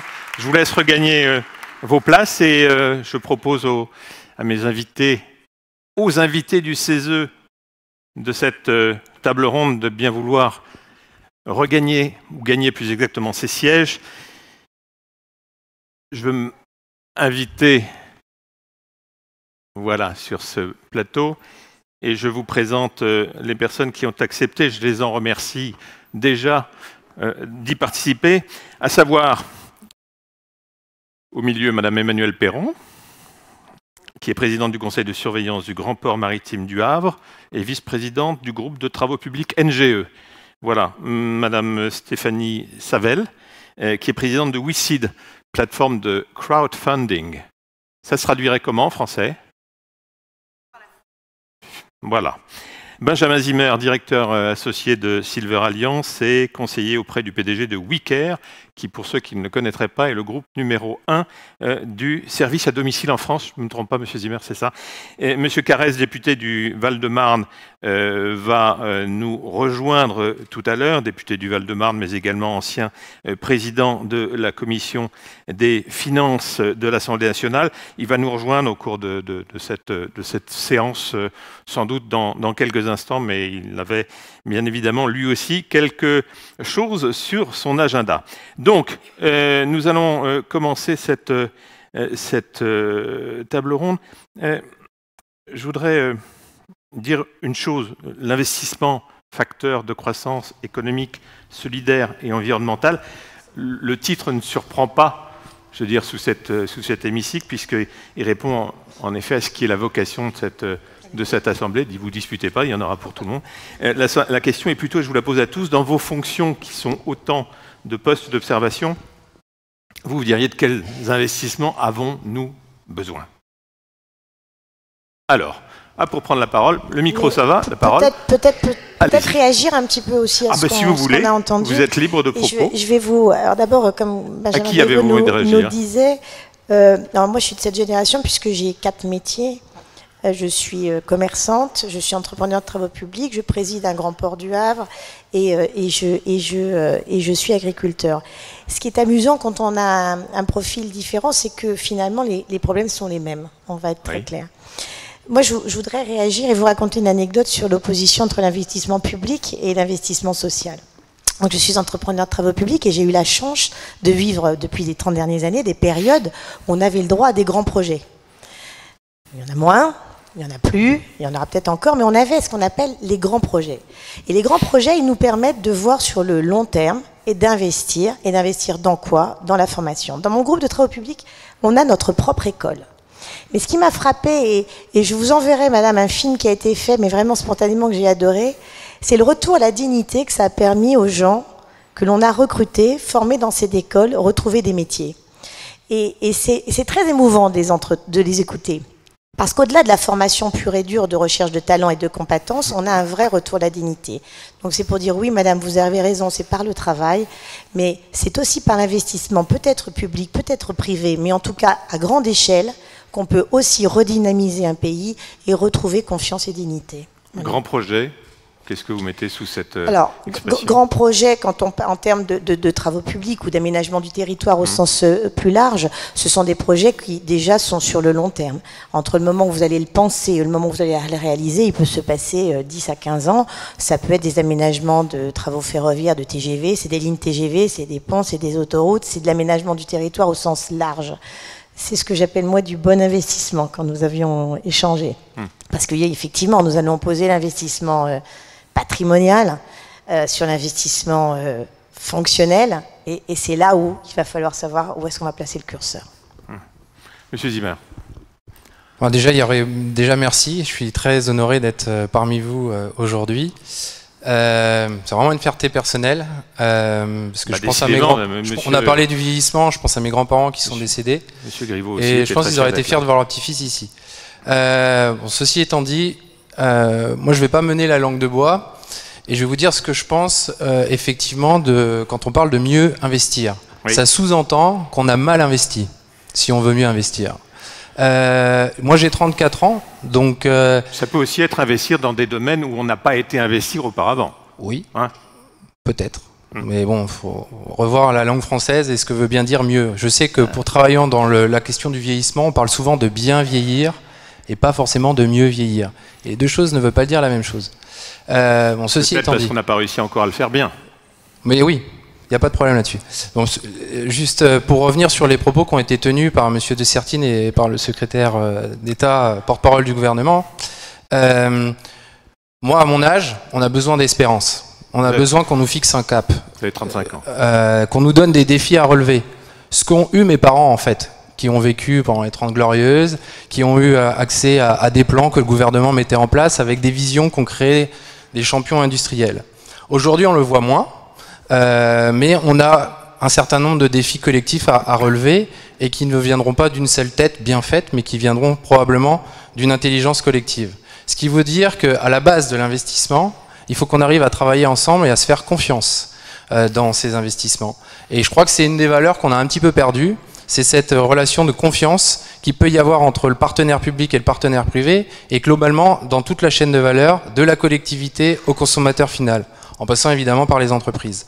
Euh, moi, je le mesure ça, parce que avant de, faire les fonctions que vous m'avez euh, données et qui sont les justes, euh, j'ai été directeur d'un écosystème qui s'appelle Silver Valley, et dans lequel, d'ailleurs, je suis plus directeur de Silver Valley, je le vois ici, dans, dans, lequel, dans ma présentation, j'ai bien noté. Dans lequel, effectivement, on est parti d'une feuille blanche. Hmm. La feuille blanche, c'était comment créer de la valeur économique et industrielle à partir d'un défi sociétal à relever ensemble, qui était le vieillissement de la population. Euh, donc, comment répondre à des besoins qui sont latents et qui sont à venir et qui sont en croissance et qui font, et on n'en a pas parlé parce qu'on a parlé de transition écologique, mais pas très peu de la transition démographique. Or, en 2100, sur notre planète, on aura 3, milliards de terriens de plus de 60 ans. Donc ce sont des enjeux, si vous voulez, euh, qui ne sont pas juste anecdotiques, euh, qui, sont, qui, vont tirer en fait, la croissance de nos entreprises, qui vont permettre aux entreprises aussi de se positionner. La transition démographique, je donne juste un chiffre, 54% hein, des dépenses totales de la consommation faite en France sont faites par des gens de plus de 50 ans. Donc autrement dit, quand vous créez une entreprise aujourd'hui et que vous ne considérez pas les personnes de plus de 50 ans dans les propositions de valeur que vous allez faire, que ce soit dans le big data ou dans le digital ou que sais-je, bah vous vous mettez une, balle dans le pied. Donc il y a ces sujets-là qu'il faut aborder, qui n'ont pas forcément été abordés aujourd'hui, euh, et moi qui m'intéresserait effectivement de mm. creuser avec vous euh, aujourd'hui. À la révolution industrielle nouvelle dont parlait M. Griveaux tout à l'heure, à la révolution économique, vous vous y ajoutez, et c'est ce que je retiens, une révolution démographique.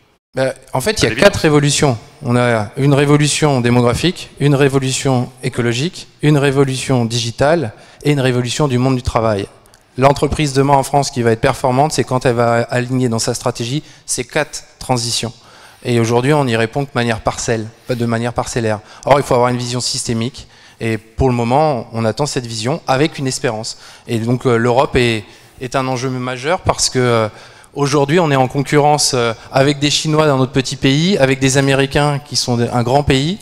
Et pour autant, euh, bah, on sait très bien que l'intelligence de toutes les entreprises des GAFAM ou des Chinois vient souvent des Chinois qui ont étudié en France ou des Français qui sont partis aux États-Unis pour aider les entreprises à grandir. Madame Savel, vous voyez une autre révolution arriver euh, bah, Celle du financement. Euh, alors, je, fais peut-être figure un peu de trublion, ou en tout cas euh, de représentante d'une industrie très récente, puisque le secteur du crowdfunding, donc du financement participatif, si on le traduit hmm. en français un peu moins littéral, n'existait pas en France il y a dix ans. Donc, on, a vraiment créé un, un mouvement où ici, il a été créé il y a dix ans pour permettre à des particuliers de financer en investissement des entreprises. Euh, et, là, on, était euh, vraiment sur une révolution du financement, du mode de financement, parce que les particuliers, au fond, dans l'imaginaire collectif, et, on me le sert très souvent, euh, des grands représentants d'acteurs traditionnels très respectables, me disent deux choses. D'abord, les Français sont un peu bêtes, ils n'ont aucune culture économique, et donc ils investissent avec leurs pieds. Donc il faut surtout les protéger d'eux-mêmes. et deuxième caractéristique, les Français sont extrêmement averses au risque, et donc il faut leur proposer des choses pas risquées. Donc c'est pas avec ça qu'on va favoriser l'investissement sur des sujets d'avenir euh, qui ont été évoqués mmh. euh, tout au long de cet après-midi. Euh, et je, crois qu'il y a du coup dans notre petite industrie qui est au vu des chiffres de l'économie vraiment microscopique mais qui est en forte croissance, il y a un, immense espoir des particuliers qui reprennent la main sur leur argent, qui s'émancipent euh, et qui peuvent choisir eux-mêmes les projets qu'ils ont envie de financer. Euh, donc du coup, les causes aussi qu'ils veulent soutenir, hein, que ce soit euh, des causes plutôt ou de l'investissement plutôt solidaire ou social ou environnemental, mais c'est eux qui choisissent. Ils ont, croyez-moi, fortement conscience des enjeux auxquels la France est, confrontée, auxquels eux-mêmes sont confrontés, auxquels leurs enfants sont confrontés. Donc il y a cette réappropriation du choix d'investissement, du fléchage de leurs investissements par les particuliers. Et ça, c'est très nouveau. Donc on fait souvent grincer des dents, hein, il faut bien le dire. On n'est pas toujours vu avec euh, beaucoup de bienveillance par euh, les acteurs traditionnels, mais je pense que c'est un, secteur, et je suis ravie que euh, Benjamin Griveaux l'ait évoqué, un secteur sur lequel il faut miser parce qu'il il y a un potentiel énorme. L'épargne des Français, c'est juste quand même 4700 milliards d'euros. Ça finance quoi? On ne sait pas. Sans doute des fonds monétaires, sans doute des fonds en euros, probablement un peu de l'économie, mais pas que. Euh, et donc il y a une, énorme capacité d'épargne. Cette épargne, elle ne demande qu'à être fléchée, orientée sur l'économie qui fera la France de demain. Et les révolutions qu'on évoque, quelles qu'elles soient, qu'elles soient euh, écologiques, sociales euh, ou et industrielles, comme on l'évoquait. À titre indicatif, vous voyez passer combien de projets, de demandes par an et combien vous en satisfaites et de quelle nature sont-ils? On va dans, Alors, quelle sur, direction? Sur WeSeed, pour zoomer sur, sur notre entreprise, on voit en gros passer 1000 projets par an et on en finance 10% seulement. Donc on est extrêmement sélectif et c'est pas nous qui les finançons, c'est les investisseurs particuliers. Euh, et on a besoin d'être sélectif parce que les particuliers euh, ne peuvent pas financer tout et n'importe quoi. Donc quand j'entendais tout à l'heure dans les investissements de demain, il faut être plus sélectif, je peux vous dire que les particuliers le sont sélectifs. quand j'entendais aussi parler de transparence, c'est une notion essentielle qu'on propose sur les plateformes et que les particuliers viennent chercher parce qu'ils en ont un peu marre quand même de donner l'argent à une banque qui va leur dire bah ok je vais investir dans un fonds ISR, investissement socialement responsable, sauf en oubliant de dire que c'est un fonds 90-10, donc en gros c'est 10% investi dans la transition écologique et 90% euh, ailleurs. Euh, donc cette transparence est essentielle et fondamentale et elle est possible aujourd'hui. Euh, et puis l'évaluation, ce que j'appelle moi la traçabilité, est aussi un élément fondamental, essentiel dans les motivations des, des investisseurs. Donc en gros, on est très sélectif pour ces raisons-là. 10% seulement des projets financés. Depuis la création de WeSeed, mais en gros depuis 2014, on a financé, les particuliers ont financé 300 projets pour un montant cumulé de 120 millions d'euros. Et en gros, 30% euh, de ces projets concernent l'environnement, 30% hmm. la santé et l'alimentation, et le reste, c'est assez diversifié. Madame Perron, vous, qui, euh, vous qui gérez des, des demandes d'investissement, des projets d'investissement qui se comptent par centaines de millions euh, dans le grand port du Havre. Euh, comment est-ce que, vous réagissez quand vous lisez dans un rapport comme, celui que nous, nous euh, avons sous les yeux et dont nous parlons aujourd'hui, comment vous, comment vous réagissez quand vous voyez que les plans d'investissement nationaux ou européens sont considérés comme sous-dimensionnés? Ça vous paraît proche de la réalité ou est-ce que c'est à nuancer? D'abord, si aujourd'hui on, ose, comme vous le dites, euh, avoir des, plans d'investissement dans centaines de millions d'euros, c'est parce que le port du Havre va bien, va bien, a repris des parts de marché à Anvers, c'est un taux de croissance à deux chiffres, même si euh, les gens ne le savent pas, on va bien, on va mieux, on va même beaucoup mieux.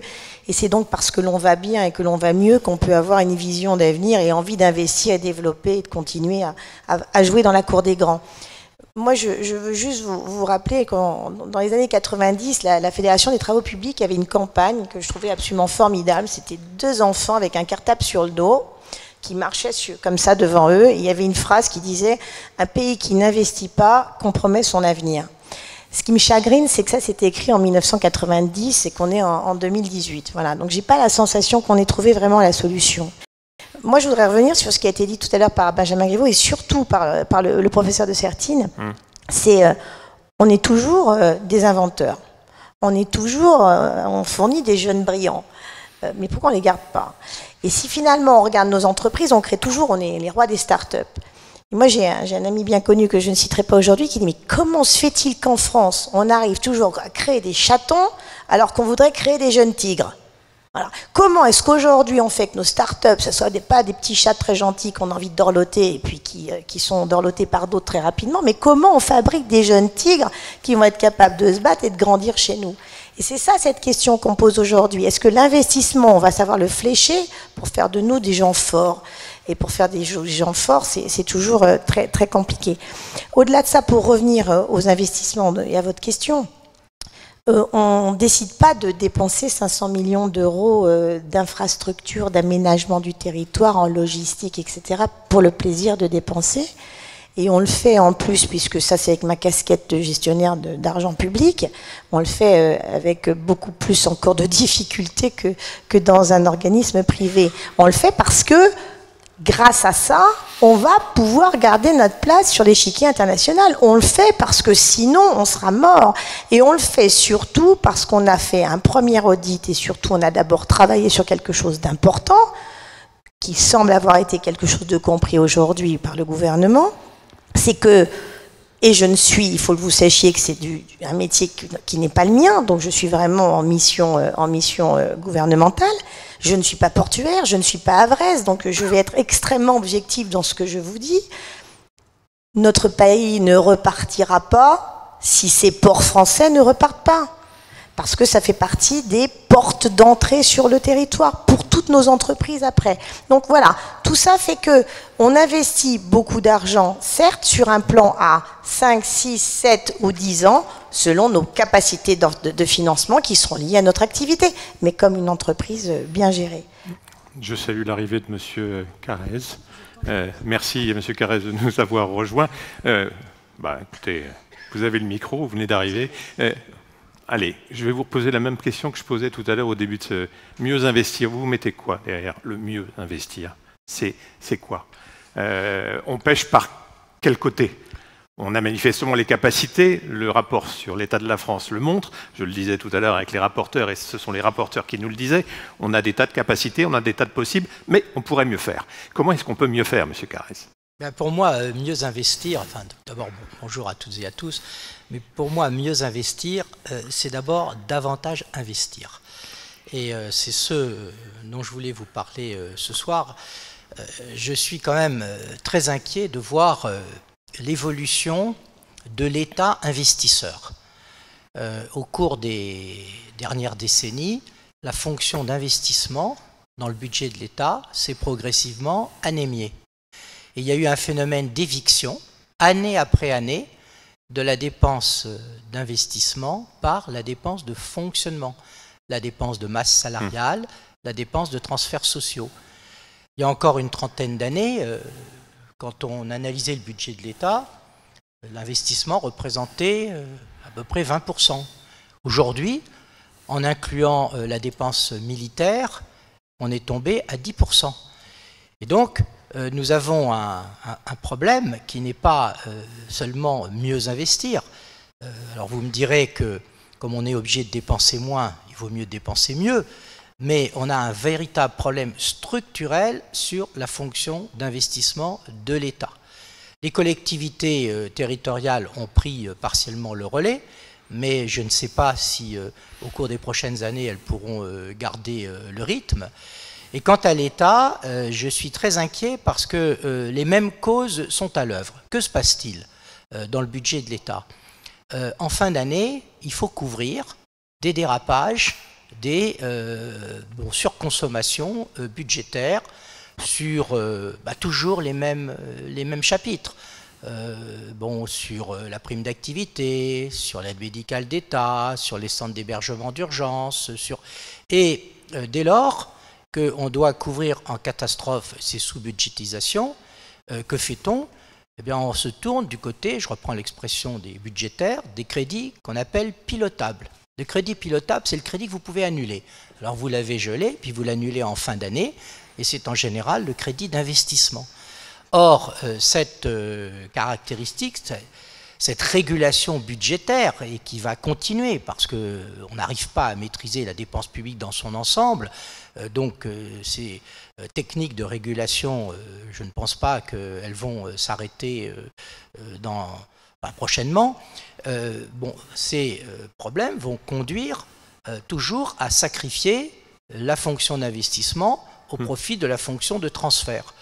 Alors je ne dis pas qu'il n'y a pas d'autres moyens pour l'État que de contourner cette règle, mais ces moyens s'avèrent de plus en plus difficiles.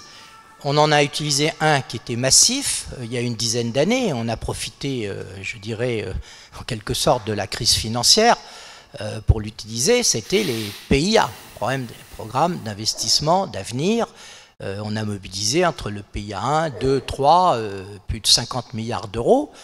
Mais ces 50 milliards d'euros, il a fallu, même s'ils sont complètement débudgétisés, il a fallu les emprunter. Ils pèsent dans notre ratio de dette publique, qui aujourd'hui tangente les 100%. Et donc, euh, bah, PIA 4, ça devient euh, totalement hors de portée. Euh, il y a euh, d'autres moyens, bon, et je terminerai par cet exemple, parce que moi, je pense qu'il faut tout faire pour sauvegarder la fonction d'investissement de l'État, c'est de mettre en place des outils dédiés. au début des années 2000, nous avons été quelques-uns à nous battre pour mettre en place l'agence de financement des infrastructures de transport. Alors c'est paradoxal, moi-même j'étais rapporteur du budget à l'époque, donc j'étais très soucieux évidemment de l'équilibre des finances publiques, mais euh, je voyais vraiment euh, avec tristesse, euh, petit à petit, et c'est encore plus grave aujourd'hui, s'affaiblir la fonction d'investissement de l'État. Et donc on s'était dit, on crée une structure dédiée et on l'alimente avec des recettes affectées. À l'époque, c'était la taxe d'aménagement, recettes domaniales, et euh, nous avions un grand espoir, c'est que, euh, en gérant mieux nos sociétés euh, d'autoroutes, les SMK, on puisse chaque année développer, augmenter les dividendes versés à l'État et les affecter à cet outil qui, lui, protégeait l'investissement, en tout cas dans le domaine des transports. Et puis hélas, bon, je m'y suis opposé, bon, c'était une des raisons, mais bon, ça n'a pas marché. Il y a eu la privatisation des autoroutes. Et donc, ce que je veux dire, c'est que si on ne protège pas par tous les moyens cette fonction d'investissement de l'État, nous la verrons s'affaiblir. Et pour moi, vraiment, je jette un cri d'alarme. La question, c'est pas de. Il faut toujours mieux investir. Mais la question bientôt, ça va être d'investir tout court, en tout cas s'agissant de l'État. Commentaire sur ce, sur ce long développement de M. Carès, mais... Mais je ne vous ai rien reproché, monsieur le député. Je crois, que je n'ai pas la prétention de commenter ce qui vient d'être dit parce que c'est pas mon niveau. Par contre, moi, ce que je peux dire, c'est le niveau du terrain, de l'entrepreneuriat que je connais parfaitement bien. Oui. Et euh, d'ailleurs, je vous invite euh, à lire un livre que j'ai écrit qui s'appelle Startup Arrêtons la mascarade. Pourquoi? Parce que quand on fait le bilan des 10 000 startups, c'est pas moi qui le dis, c'est l'INSEE, qui en 2016 ont fait le bilan des, 5 années qu'elles viennent de passer. Il y en a 93% qui ont arrêté leur activité. Il y en a 3% seulement qui sont à peine rentables. Donc ça veut dire que les 4% qui restent, a priori, elles mettront la clé sous la porte au bout de la sixième année. Donc ça, moi, ça m'interpelle, si vous voulez. Parce que là, on met beaucoup d'argent, fruit de nos impôts. Donc très bien, l'impôt, elle sert à investir dans des projets. Mais le problème dans tout ça, c'est qu'on fait plaisir à plein de gens. On nourrit des mètres carrés d'incubateur, très bien, mais on ne regarde pas le retour sur investissement des trois ans qui vont être passés dans l'incubateur et qu'est-ce qui se passe à la sortie de la start-up quelques années plus tard. On met de l'argent au départ des business angels parce que avec la crise des subprimes, on n'en a pas parlé, mais ça a été un super véhicule financier pour ceux qui avaient de l'argent et pour placer leur liquidité, bien plus rentable que des actions euh, en bourse. Mmh. Euh, quand on est capable de, diluer son investissement dans plusieurs startups, on sait qu'à un moment donné, on va retourner, euh, on va retrouver son investissement, voire beaucoup plus. Bref, tout ça, euh, le politique lambda qui sur son territoire serre la main, main d'un start-upper parce que ça lui permet d'officialiser sa politique de développement économique. Et je pourrais vous inciter comme ça plein de mascarades qui se passent. Et donc au, au final, on est dans une société où la start-up est un phénomène de société et pas un projet de société. Or, ça devrait être un projet de société pour justement euh, réussir à, résoudre tous les défis qui sont devant nous. Donc moi je peux pas me permettre, enfin j'ai pas le niveau pour pouvoir répondre à ce qui a été dit, mais par contre je voudrais juste terminer là-dessus. Il y a un autre sujet, Vous moi, parlez pas des mêmes investissements non plus. Qui m'a interpellé, parce qu'on parle d'investissement, c'est qu'a priori l'odeur de l'euro public ne serait pas le même que l'odeur de l'euro privé. Il faudrait beaucoup plus de travail pour avoir un euro privé, là où pour avoir un euro public, parfois, euh, c'est très facile. Quand on a fait une bonne école, qu'on est capable de bien présenter, de se retrouver devant un jury, de toute façon, où les membres du jury ont plus peur de vous par rapport à votre niveau de diplôme que eux par rapport à leurs compétences sur le sujet que vous traitez. Et donc, du coup, vous obtenez beaucoup de financement. Je, voudrais juste répondre à, à, M. Carré, dont je remercie de sa présence. Euh, juste sur les financements dédiés, juste pour compléter. C'est euh, la FIT était effectivement un financement dédié au départ, et il a été dévié. Mais finalement, on arrive quand même à pouvoir imaginer des financements super dédiés, quand on voit par exemple l'aménagement du Grand Paris, hein, puisque nous sommes ici. Pourquoi est-ce qu'aujourd'hui, le Grand Paris va voir le jour? Pourquoi celui-ci n'a pas été tout simplement dévié, comme vous le disiez tout à l'heure, simplement parce qu'il a été monté sur un financement super dédié. C'est-à-dire que celui-ci... On rappelle que M. Carrez est vice-président du mais, mais moi, je trouve ça formidable. Non, c'est vraiment un compliment ce que je suis en train de faire en plus. C'est-à-dire que réellement, on a fait ce qu'on a dit. On a juste fait ce qu'on a dit et on n'a pas pu faire n'importe quoi au dernier moment et en tout cas se servir euh, pour résoudre d'autres problèmes. Et donc, la notion du financement dédié, puisqu'on parle d'investissement, mmh. on a vraiment un outil dont on a vraiment besoin. Madame Savel. Moi, ça fait dix ans que je euh, grenouille et que je suis dans l'investissement et le financement euh, d'entreprises sous toutes ses formes, euh, à, différents moments de, et selon différentes modalités. alors, je souscris entièrement à ce que vient de dire Benjamin. La folie start-up, c'est juste n'importe quoi. Et donc, il y a des Monsieur Griveaux tout à l'heure a aussi parlé de notre catégorie, celle des start-up qui ont commencé oui. et qui n'ont pas eu le soutien nécessaire et qui sont partis à l'étranger. Oui, hein. mais je pense qu'il y a quand même une gabegie d'investissement et de financement. Il y en a très peu, c'est toujours les mêmes qu'on cite.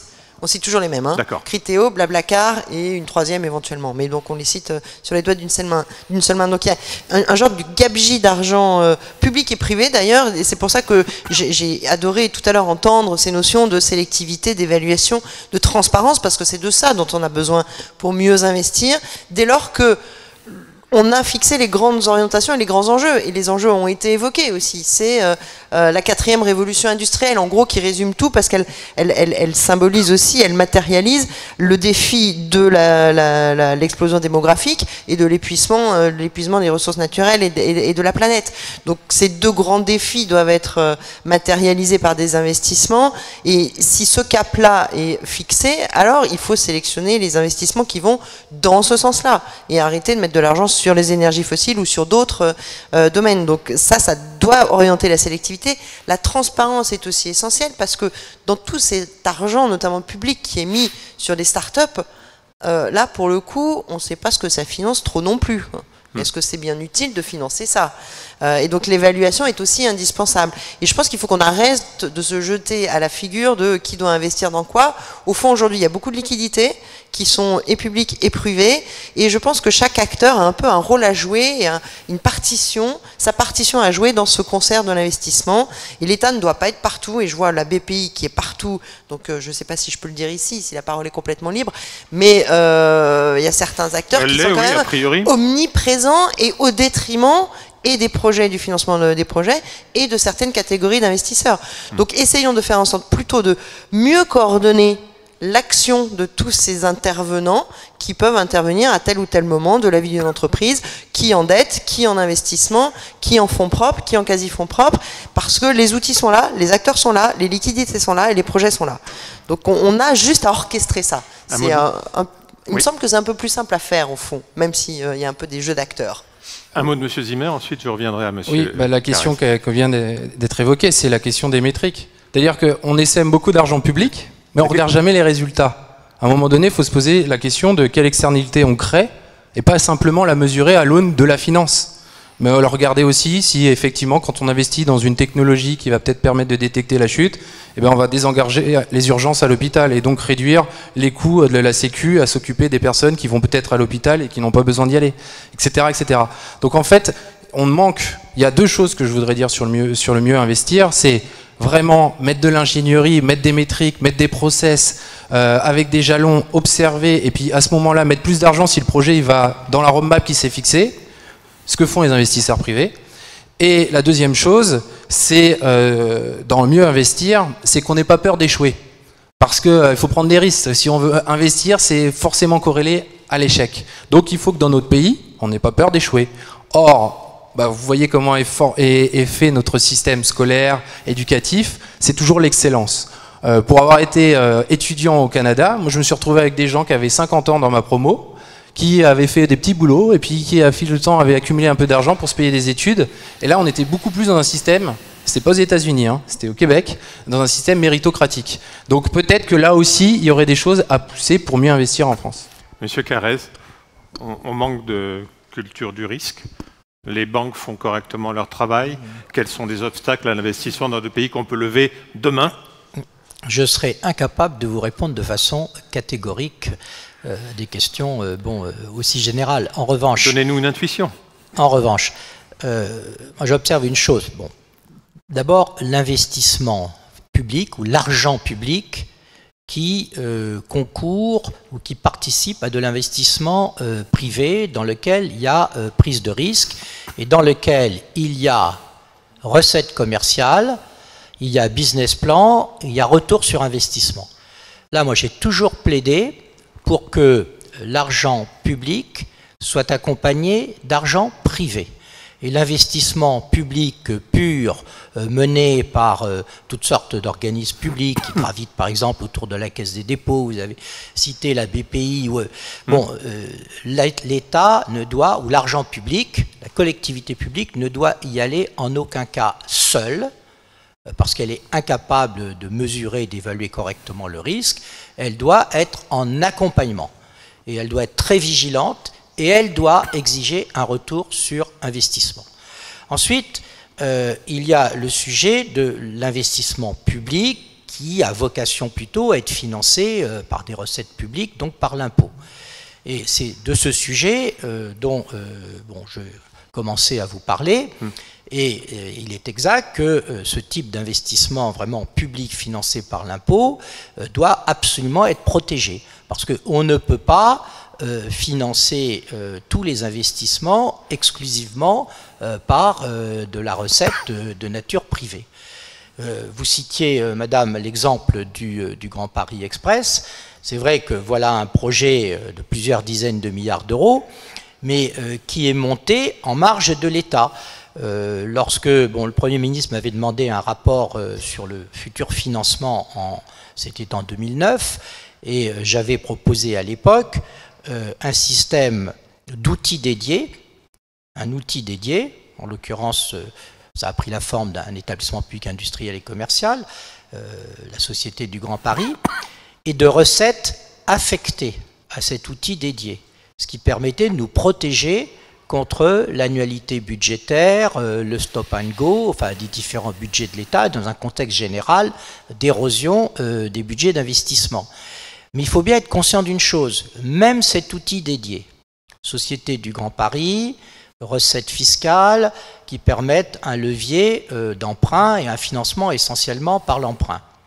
Euh, l'emprunt cumulé risque d'aller jusqu'à 35 milliards d'euros. Donc ce n'est pas, pas négligeable. Hmm. Et à un horizon assez proche. Donc vous voyez, c'est quand même du gros investissement public. Eh bien, malgré, malgré cela, ce type de montage reste dans la sphère publique.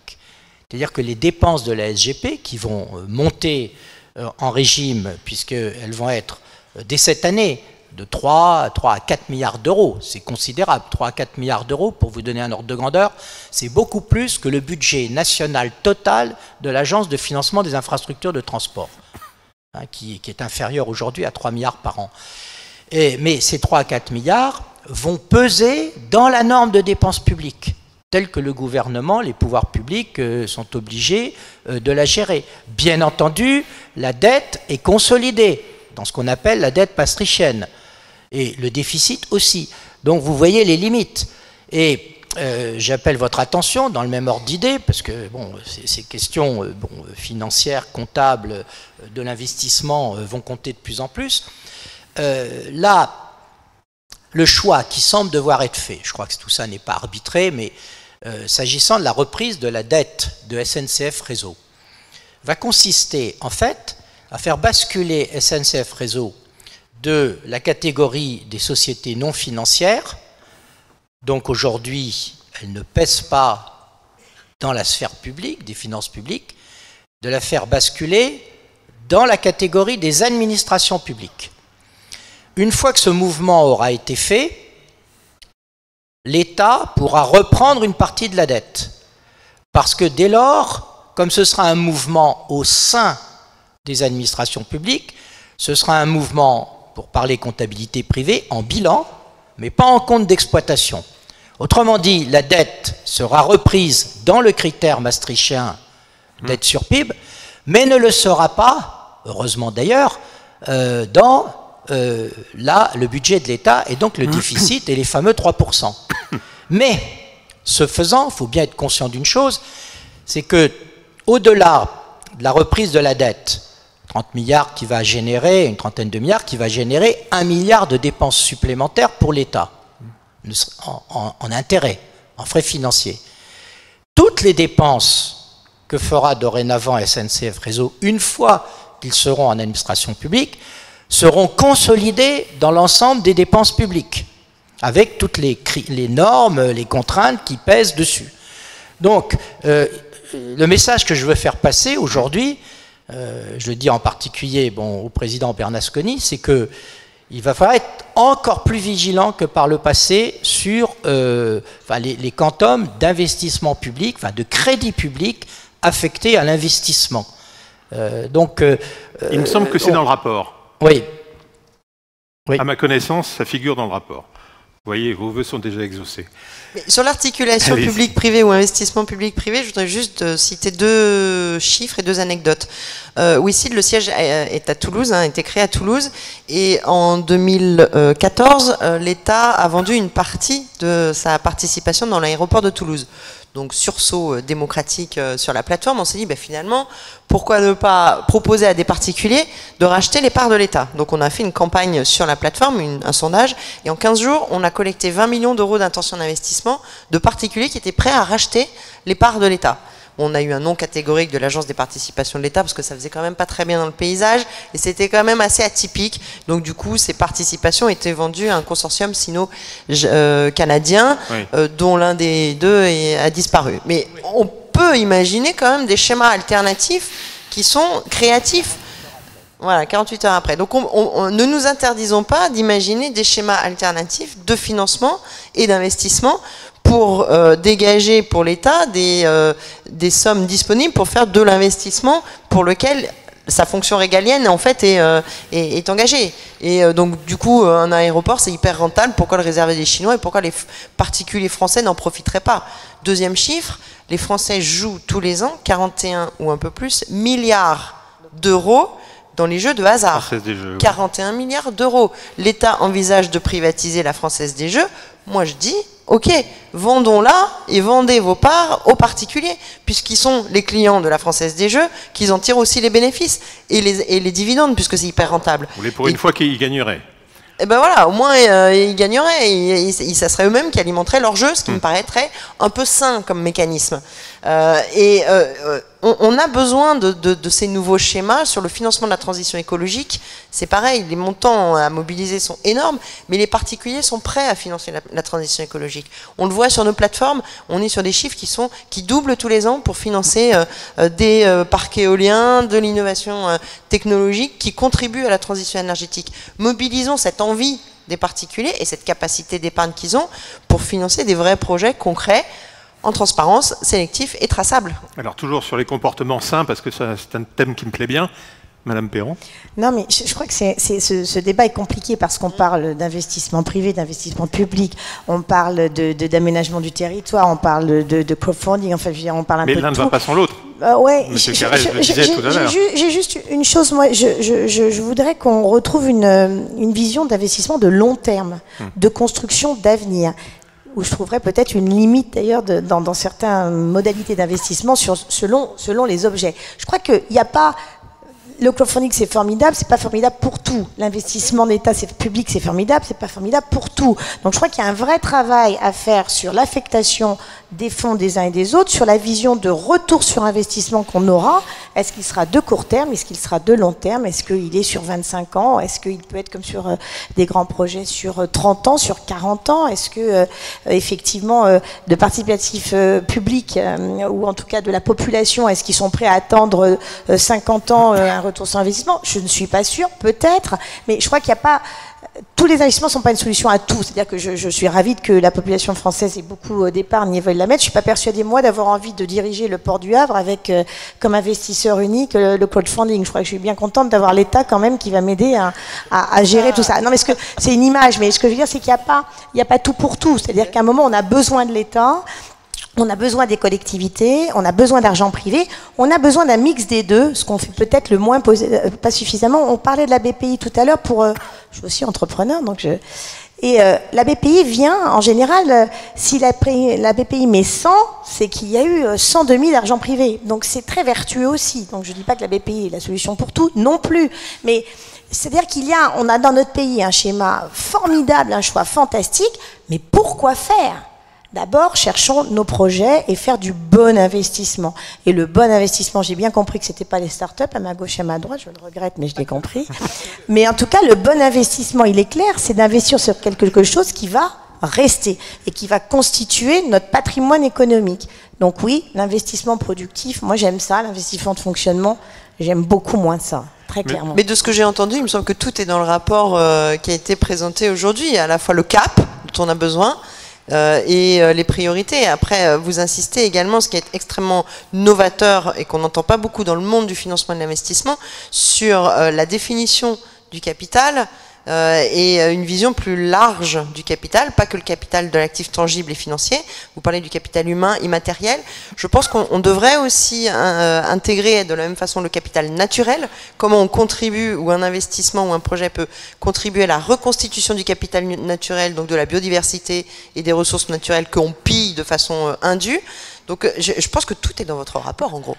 Bah oui, il y, a, tout dans le rapport. Il y a aussi, il y a aussi une meilleure évaluation des, des, des, investissements des collectivités territoriales, auxquels faisait allusion M. Carrez il y, a, il y a quelques instants. Il y a aussi le renforcement des acquis sociaux. Vous vous, situez dans justement, ce renforcement en France, on a beaucoup de rapports. Non, pas des acquis sociaux, des investissements sociaux, pardonnez-moi. Mais ça peut aller à un moment donné, c'est plus le rapport. Il faut, faire, faut, faut y aller. Il faut, faut, faut, faut, mettre son bleu de chauffe et puis le faire. Donc moi, moi j'ai fait avant de venir aujourd'hui ici, j'ai des preuves de ce que j'avance qui sont tangibles. Euh, parce que je suis très cartésien dans ma façon de procéder. Hein. non, mais c'est-à-dire que tout ce que je vous ai dit avant, vous pouvez me choper dans 10 minutes, je vous apporte par la A plus B que ce que je vous ai dit est vrai, est vérifiable par vous-même. Personne ne remet votre euh, Mais c'est important parce que c'est justement, c'est, il faut pas tomber dans les allégations. Il faut pas tomber dans ce qu'on a connu à une époque euh, dans le canard enchaîné qui s'appelait l'avion renifleur. Il faut faire attention à tout ça.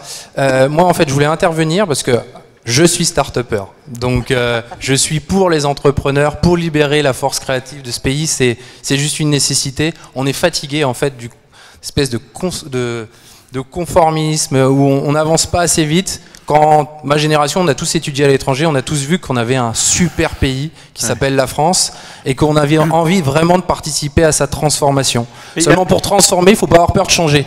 et c'est parfois ça la difficulté, c'est de faire changer les administrations, le système, ah. à faire en sorte que, bah, voilà, il y a des gens qui, sont un peu plus jeunes, qui ont des idées nouvelles, qui sont parfois radicalement euh, opposés à ce qui a été mis en place, et qui pour autant sont l'avenir euh, de demain. Il y a un truc qui m'a marqué dans parce qu'on s'est on parlé un petit peu euh, il y a, quelques jours. Vous m'avez dit vous, vous, êtes diplômé de centrale. Vous m'avez dit les centraliens aujourd'hui quand vous les regardez, ils rêvent plus d'être golden. Euh, ils rêvent plus d'être trader. Ils veulent être entrepreneurs. Ah oui, ce que faisait Gustave Eiffel et d'autres euh, à une époque. Effectivement, on veut entreprendre, on veut créer de la valeur. Et tout à l'heure, euh, le secrétaire d'État a parlé de capitalisme populaire. Oui.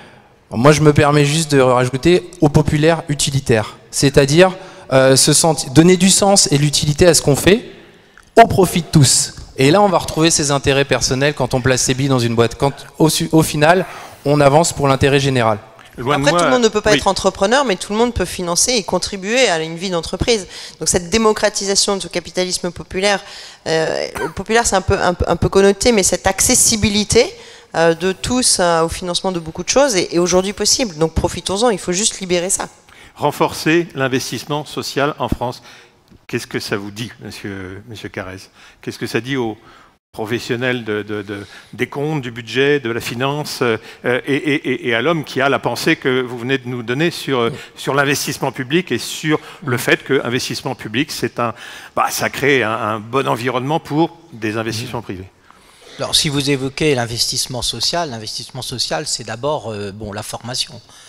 Et c'est vrai que dans les conventions euh, comptables, on n'intègre pas les dépenses de formation euh, parce qu'elles sont récurrentes, euh, annuelles, répétitives. Hmm. On ne les intègre pas dans les dépenses d'investissement. Mais il est euh, clair que l'effort que notre pays doit accentuer sur la formation, il est essentiel dans la politique générale d'investissement du pays. Et là, je pense que la, collectivité publique a, un rôle majeur à jouer. Euh, il faut par ailleurs être euh, humble, euh, être modeste sur la manière d'apprécier la rentabilité socio-économique future d'un investissement dès lors que c'est un investissement enfin, public. pour moi, pour simplifier, il y a deux types d'investissement. Investissement privé, bah, si euh, vous récupérez pas votre mise, euh, si vous ne faites pas des bénéfices, euh, si votre business plan se termine mal, si vous remboursez pas votre dette, bah, c'est que vous avez fait un mauvais investissement. L'investissement public, c'est infiniment plus compliqué. On doit, euh, par convention, euh, valoriser, par exemple, les déséconomies externes que sont l'émission de CO2, euh, la réduction du, temps perdu dans les déplacements domicile-travail. Bon, il y a toutes sortes de, paramètres qui sont extrêmement difficiles à, à, quantifier. Et ce que je souhaiterais pour ma part, c'est que ces analyses de critères et de rentabilité a priori soient davantage transparents qui soient vraiment mis dans le débat public, ils ne le sont pas suffisamment.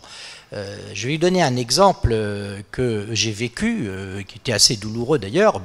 En 2005, je vous disais que je n'étais pas, j'étais pas favorable à la privatisation des autoroutes parce que bon, j'estimais qu'il fallait absolument que l'État conserve des recettes d'investissement une capacité d'investissement dans le domaine des transports.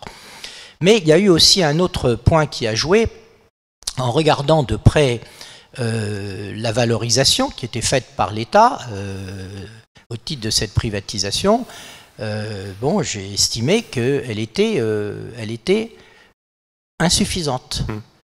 Mais bon, en tant que député, même avec les moyens qu'a un rapporteur du budget, c'était assez difficile de, le, bon, de le mettre en évidence.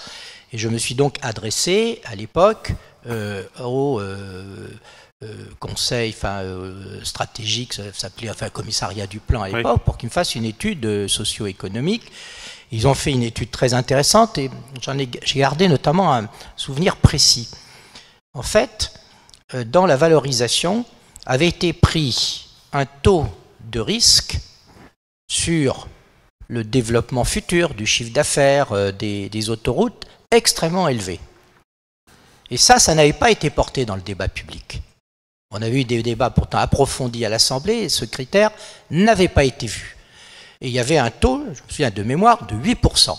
Et moi j'estimais que ce taux, il était euh, tout à fait inacceptable. Inacceptable parce que euh, j'estimais que les risques sur l'évolution du trafic étaient quand même assez limités, que les risques sur l'investissement autorité, qui est quand même en situation quasi monopolistique, euh, bon, étaient assez limités.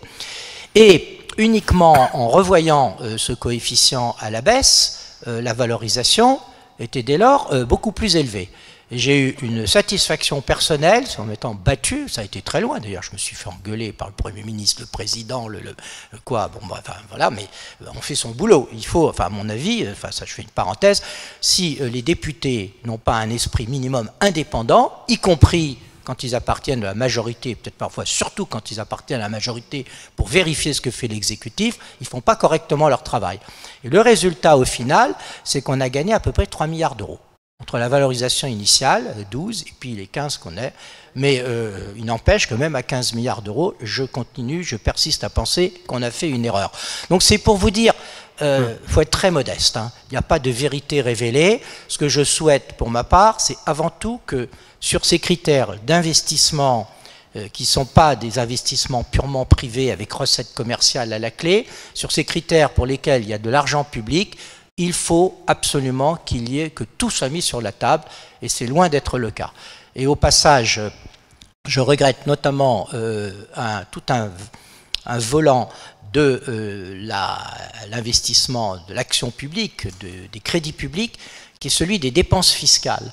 Parce que dans beaucoup de cas, on aide les entreprises, en fait, à investir ou à telle ou telle orientation, voire les particuliers. Regardez le CITE, euh, qui s'appelait CIDD avant, Crédit d'impôt pour développement durable.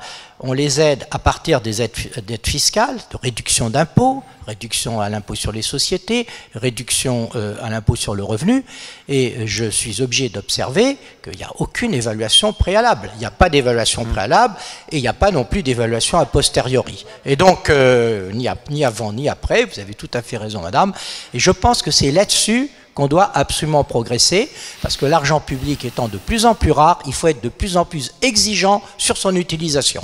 Madame Savel.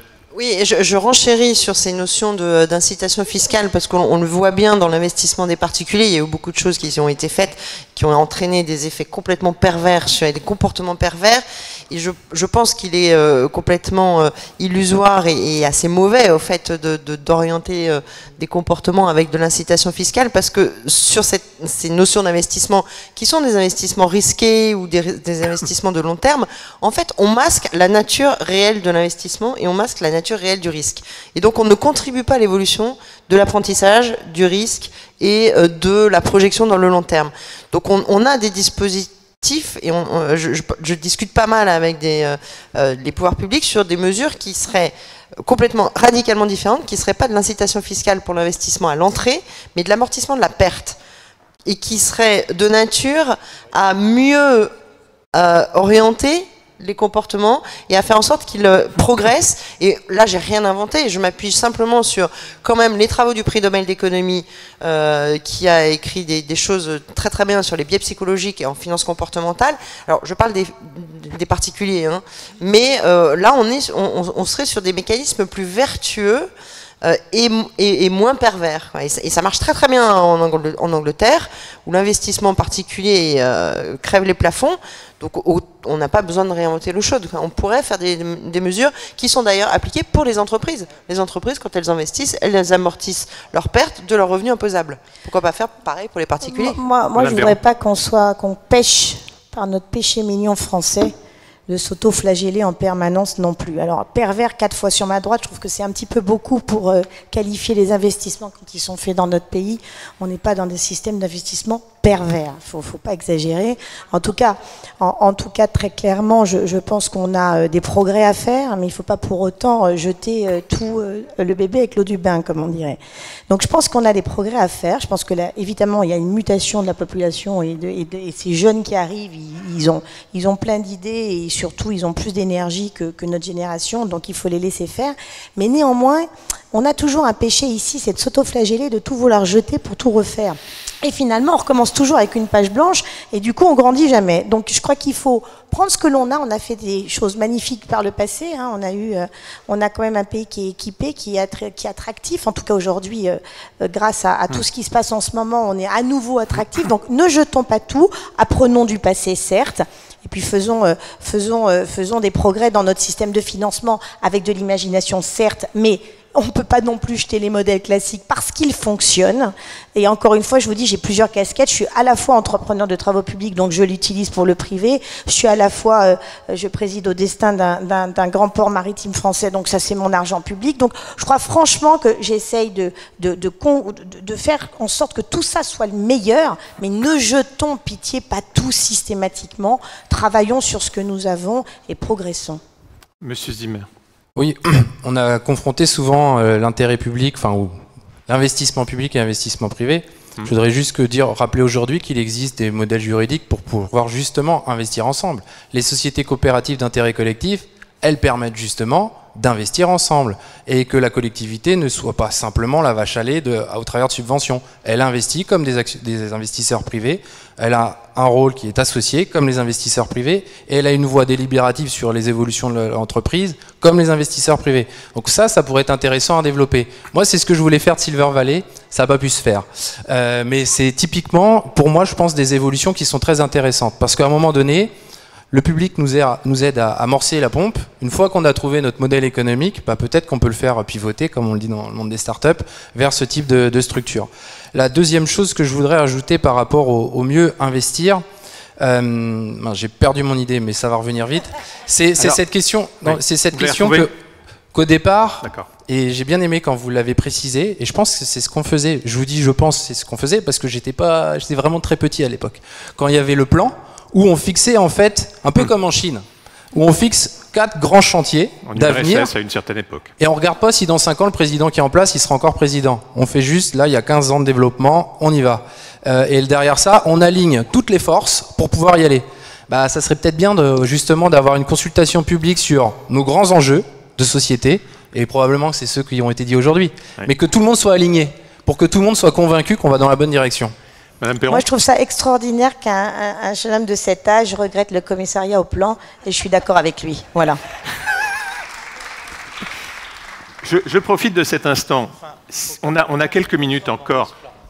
On, a quelques minutes encore euh, dans, cette, dans cet hémicycle. S'il y a des questions courtes, attendez, deux petites secondes, courtes, s'il vous plaît, ne me faites pas des tunnels.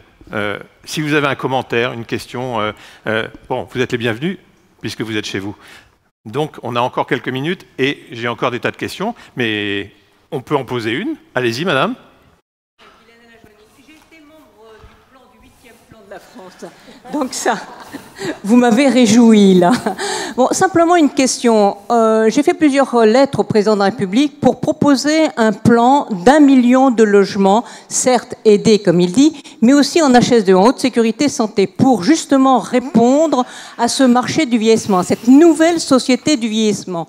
Ne croyez-vous pas quand on dit des plans d'avenir, de faire un plan triennal, de faire un plan quinquennal, et à ce moment-là, justement, faire, comme vous le disiez très bien, Monsieur Carès, faire en sorte qu'on ait des systèmes dédiés et que tout le monde se mobilise sur un horizon. Vous êtes tous d'accord? Je passe donc à une autre question où il y a un commentaire euh, de votre part. Je vous, prends tout de suite, je vérifie simplement que, Madame, euh, c'était un commentaire, ça n'appelait pas de. Vous, avez de toute façon l'approbation des, quatre personnes qui sont là. Que oui. J'ai présidé aussi les femmes entrepreneurs. Donc... Vous êtes formidable. Euh, monsieur. Le micro fonctionne. Euh, S'il ne fonctionne pas, on va vous en donner un autre. Allez-y.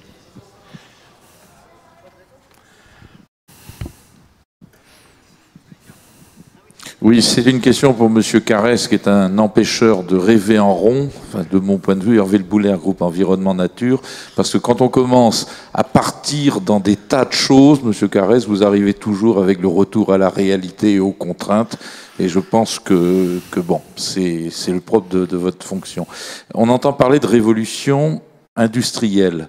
Mais la révolution, en général, ça tombe pas du ciel un matin. Il y a des acteurs, ça se fait. Euh, et la question que je pose à tout le monde, est-ce qu'il est possible d'aller vers cette mutation profonde de notre économie sans changer profondément les outils de production, les modes d'utilisation du capital, et sans le faire de façon révolutionnaire, je dirais de façon euh, organisée? Voilà, c'est des questions que l'on posait cet après-midi. Est-ce qu'on peut changer la façon de faire de l'économie sans changer profondément de paradigme? Et est-ce qu'on peut rêver concrètement? Monsieur Carrez. On est parti jusqu'à minuit, là, ça va? Sur cette question euh, juste un petit témoignage. Euh, le, développement de notre industrie, de notre marché, alors qui va pas tout couvrir, qui va pas tout régler, mais euh, est, est, né d'une révolution, du constat d'un manque, d'une évolution, d'une révolution de gens qui se sont dit bah tiens on va faire autrement pour financer, on va partir sur d'autres schémas, et ensuite on est entré dans un mode plus régulé qui a permis le développement du marché. Donc on, a un processus en fait de création euh, d'un nouveau euh, paradigme euh, qui a été assez vertueux, qui n'a pas été fait avec violence, bon, qui est encore tout petit, hein, donc je reste très humble, mais qui est assez vertueux pour et qui pourrait être reproduit. Cela dit, il y a quelques changements qui me paraissent radicaux et que vous avez évoqués dans, votre rapport sur la façon dont on compte euh, qu'est-ce qu'on compte, qu'est-ce qu'on compte pas, et, comment on compte ce qu'on ne, compte pas habituellement. Et en matière de euh, biodiversité, de capital naturel, là, on a tout à revoir. Il faut tout remettre sur la table, sur les, normes comptables, mais de façon radicale. Et je vous invite la semaine prochaine, il y a un colloque à Bruxelles sur justement la révision des normes comptables pour intégrer le capital naturel dans euh, les, évolutions nécessaires dont on doit faire preuve. Monsieur Carré Oui, moi, pour essayer de répondre à votre, question, euh, qui est quand même assez vaste, moi, je, ne crois pas euh, aujourd'hui à une rupture ou à un grand soir euh, de, l'économie ou de l'organisation de nos moyens de production. ce qui me frappe, l'évolution assez longue que j'ai vécue depuis maintenant 25 ans que je suis député, c'est que vraiment, bon, le, marché, les mécanismes de marché l'ont emporté.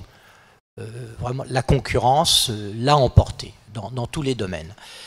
Mais l'excès qui, euh, pour moi, s'est vraiment encore accentué ces dernières années, c'est celui, comme diraient d'ailleurs mes collègues insoumis, par exemple, c'est celui d'une financiarisation vraiment de l'économie qui devient très préoccupante et d'une sorte de dictature du court terme. Et ça, je le ressens vraiment dans, beaucoup de domaines, cette dictature du court terme. Et euh, face à cela, il faudrait que euh, nous mettions en place des mécanismes qui nous obligent à davantage penser dans le moyen et long terme. Alors, je ne veux pas revenir au commissariat au plan. Mais je pense malgré tout que des lieux où l'on s'oblige à une réflexion de moyen et long terme seraient bon, nécessaires. Je pense aussi, dans un secteur que je connais bien, qui est celui de la fiscalité, euh, notre fiscalité n'est pas suffisamment orientée vers l'encouragement de l'investissement de moyens euh, et long terme. Euh, si on regarde, on met à plat les choses domaine par domaine dans s'agissant de l'intervention publique sous toutes ses formes, intervention législative, réglementaire, intervention fiscale, économique, nous n'avons pas suffisamment réfléchi aux réponses que nous devons aujourd'hui apporter à une dictature court-termisme naturelle de mécanismes de marché aggravée par la mondialisation. Alors ça peut vous surprendre dans, les bouches, euh, dans la bouche d'un élu euh, bon, euh, républicain, mais ce sont vraiment des préoccupations que nous sommes nombreux à partager sur les différents bancs de, de l'Assemblée et moi, j'espère, euh, si je peux apporter une modeste contribution euh, pour ce, dernier mandat euh, que, je vais avoir comme, comme, député, mm. c'est vraiment d'essayer bon, de, convaincre mes, jeunes, mes nouveaux collègues de ce que, oui au mécanisme de marché, oui à la concurrence, mais l'intérêt général, c'est une vision de moyen et long terme. Et nous, responsables politiques, où que nous soyons, nous devons absolument préconiser cette réflexion de moyen et long terme. Sachez, Monsieur Carès, que euh, tout à l'heure, euh, tout à l'heure, Monsieur Griveaux a lui-même évoqué ce qu'il a appelé la dictature de l'urgence, en estimant qu'on était un petit peu trop dans l'investissement immédiatement productif, si j'ai bien suivi. Oui, oui. Mais Monsieur Carré s'en souvient pas, mais il y a une dizaine, douzaine d'années, il nous a beaucoup aidé. Donc, je suis aussi, une représente une catégorie d'entreprises qui s'appelle les ETI. Et nous avions beaucoup travaillé tous les deux.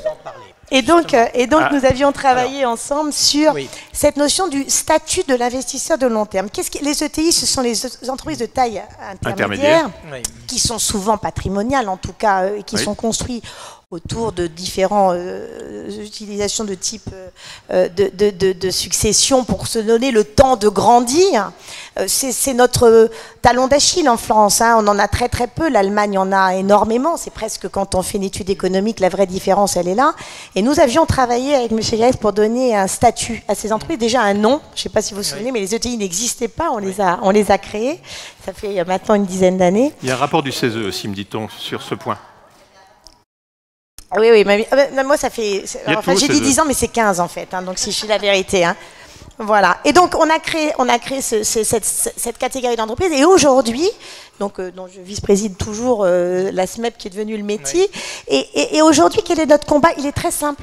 C'est plus la fiscalité, c'est plus euh, ce dont on, s'est mauvais pour pouvoir transmettre nos entreprises, c'est plus la transmission d'entreprise, c'est le statut de l'entreprise de long terme.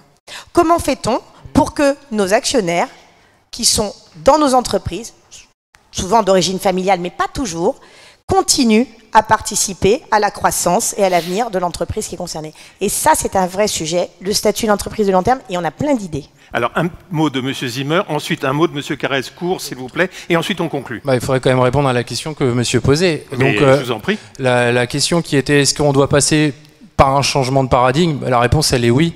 Euh, on le voit déjà, enfin regardez, il y a plein de livres. Steve Jobs, quand il a créé Apple, son but final, c'était de changer l'ordre social. Euh, il n'a pas créé une entreprise pour devenir milliardaire, il a créé une entreprise parce qu'il vivait avec cette utopie.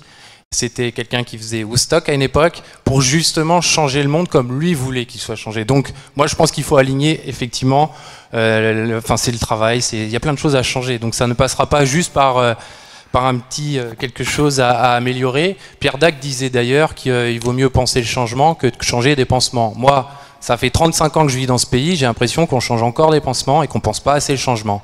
Euh, et c'est pas moi qui le disais, c'est Pierre Dac. Euh, je voudrais aussi revenir sur, euh, sur cette question d'immédiateté, de, court terme, etc. De dictature d'urgence? C'est le digital qui apporte ça.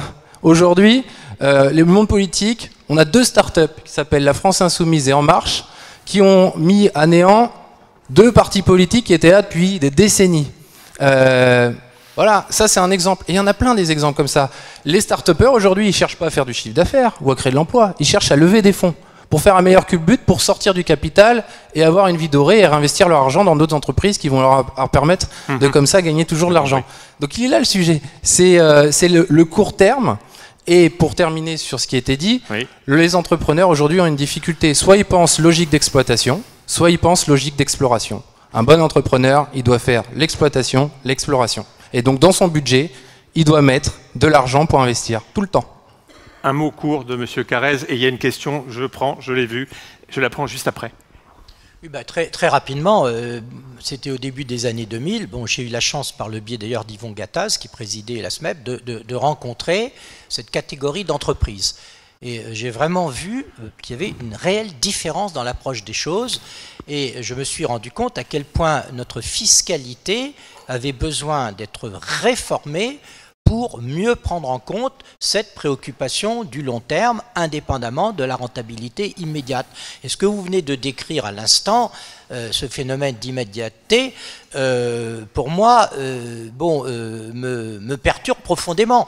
c'est pas parce que il y a deux partis politiques là qui viennent de faire un véritable hold-up, parce que je me dis ce ce qui nous est arrivé va leur arriver à leur tour avec la même rapidité. Ça, j'en suis absolument certain. Mais euh, par rapport à ça, euh, pour que bon, un pays se construise, se développe, il faut une continuité dans l'action publique. Et aujourd'hui, euh, nous sommes en risque permanent de discontinuité et de rupture. Madame oui, euh, je m'exprime au nom de la. Je suis présidente de la section des activités économiques au CESE. Euh, donc je vais rebondir sur ce que vous avez esquissé. Euh, Monsieur Carrez, est-ce que vous croyez que le Parlement et le CESE, ou bien que le CESE pourrait être saisi du sujet de la détention du capital des entreprises qui sont en France? Est-ce que ce n'est pas un sujet majeur d'actualité? Est-ce qu'on ne pourrait pas travailler main dans la main avec le Parlement sur, cette question à, moyen ou long terme? Oui, la, la détention du capital, bon, l'évolution de cette détention, euh, comment les choses se sont euh, bon, euh, transformées au cours des dernières années. Bon, l'effet justement start-upper, digital, internet, tout ça, bon, mérite, à mon avis, d'être étudié. Et la, la, détention, la détention de nos entreprises. bon, c'est pas quelque chose de neutre. je, et on manque terriblement d'informations là-dessus, en effet. La question était est-ce que vous pourriez travailler à l'Assemblée nationale? Ben, nous, travaillons, euh, bon, nous travaillons régulièrement, euh, le président Bernasconi le sait bien. Hein. Bien, euh, c'est le moment, je pense, de, ah, de conclure sous votre autorité, Monsieur le Président. On pourrait, on pourrait, c'est sûr, continuer, mais bon, monsieur, monsieur, monsieur. allez-y, mais je vous en prie, mais si, bien sûr. Oui, une petite question. Bruno Chevalier de la Ligue des droits de l'homme. Euh, j'ai de la terre sur les pieds qui appartient à Europa, figurez-vous, puisque j'étais sur un bidonville ce matin qui appartient à Europa. Donc, donc voilà, donc il faudra qu'on se parle. Et euh, la chose, c'est qu'est-ce que, ouais, Qu'est-ce que vous pensez de tout cet argent qui est dépensé euh, vraiment en pure perte dans, les expulsions des bidonvilles, euh, dans euh, les, logements à l'hôtel pendant des années où, les gens sont parqués sans aucun soutien social Qu'est-ce que vous pensez? Quand on parle d'investissement, là je vois simplement de la dépense en pure perte sans aucun investissement pour l'émancipation des familles ne préside que le port du Havre. je crois que ça, c'était une question pour Monsieur Griveaux, si je peux me permettre. Franchement, là, on est, je, ne suis pas du tout euh, sur, sur Zimmer, en l'occurrence. Ah bah, des questions comme ça, d'accord. Non. Euh, je, enfin, la votre question, elle est d'une complexité euh, redoutable. Enfin, je veux dire, c'est assez compliqué. Alors, en fait, il y a des, il y a plein de choses qui peuvent rentrer en ligne de compte. enfin, c'est ce, ce, que veut dire Monsieur, en gros, si je veux résumer ça, c'est oui, pourquoi, pourquoi on dépense de l'argent Investir, c'est arrêter de gaspiller aussi. Bah oui, mais on est d'accord avec ça. Eh bien, vous me faites une bonne transition sur ma conclusion. Moi, je suis en train de monter une alliance d'entreprises pour justement apporter dans tous les foyers français, pour les personnes qui ont plus de 60 ans, des produits et des services qui vont leur permettre de rester le plus longtemps possible. Cette alliance d'entreprises, son objectif, c'est faire comme a fait SkyTeam dans l'aéronautique, c'est-à-dire partager des valeurs, dépenser le moins possible et gagner le plus d'argent. Mais pas pour gagner plus d'argent et enrichir les actionnaires, mais pour créer de l'emploi, etc., etc. Je peux vous retourner une question Alors, si, on part du principe que, par exemple, aujourd'hui, on a décidé d'amener la fibre optique au fin fond de la ferme de la Creuse parce que Aujourd'hui, on sait bien que si on n'est plus connecté, on est hors du monde. Et que l'entrepreneur, l'agriculteur, au fond de sa ferme tout seul, sans connexion Internet, il ne pourra pas, il ne pourra pas vivre comme il vivait avant et continuer à, survivre. Est-ce que c'est de l'argent gâché d'aller amener la fibre jusqu'à la ferme de ce monsieur? Je ne pense pas. Voilà. Jusqu'où est-ce que l'investissement public, est-ce que, jusqu'où est-ce que c'est du gâchis? À l'heure actuelle, d'ailleurs, c'est pas souvent fait sous forme concessive et donc avec de l'argent privé. Mais c'est une vraie question. C'est pas rentable. Non, ce n'est pas rentable. Mais est-ce qu'on doit laisser cette ferme isolée au fin fond du Larzac? Je ne crois pas. L'heure de la conclusion aussi, Juste Madame une euh, petite conclusion euh, sur euh, mieux investir. Hum. je pense, on l'a dit tous les uns et les autres, et je reviens à ce que je disais aussi au début, on a les outils, on a de l'argent, on a des acteurs. On, a des véhicules, donc les, la, partie technique est là pour, pour investir. ce qui me paraît important, c'est d'investir dans quoi pour aller vers où? Et donc c'est plutôt le cap qui est, qui est le, plus, euh, le plus essentiel.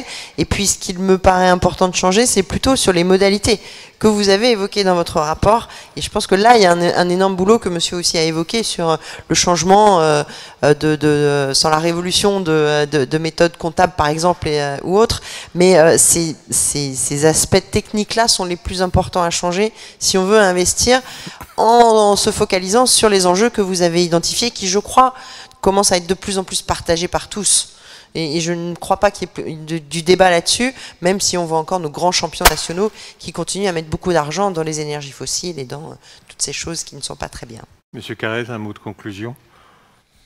Ben, je pense euh, que le CESE a un rôle important à jouer euh, sur bon, ce double aspect, protection de la dimension investissement du pays est euh, lié à l'affirmation de la préoccupation du moyen et du long terme. Merci.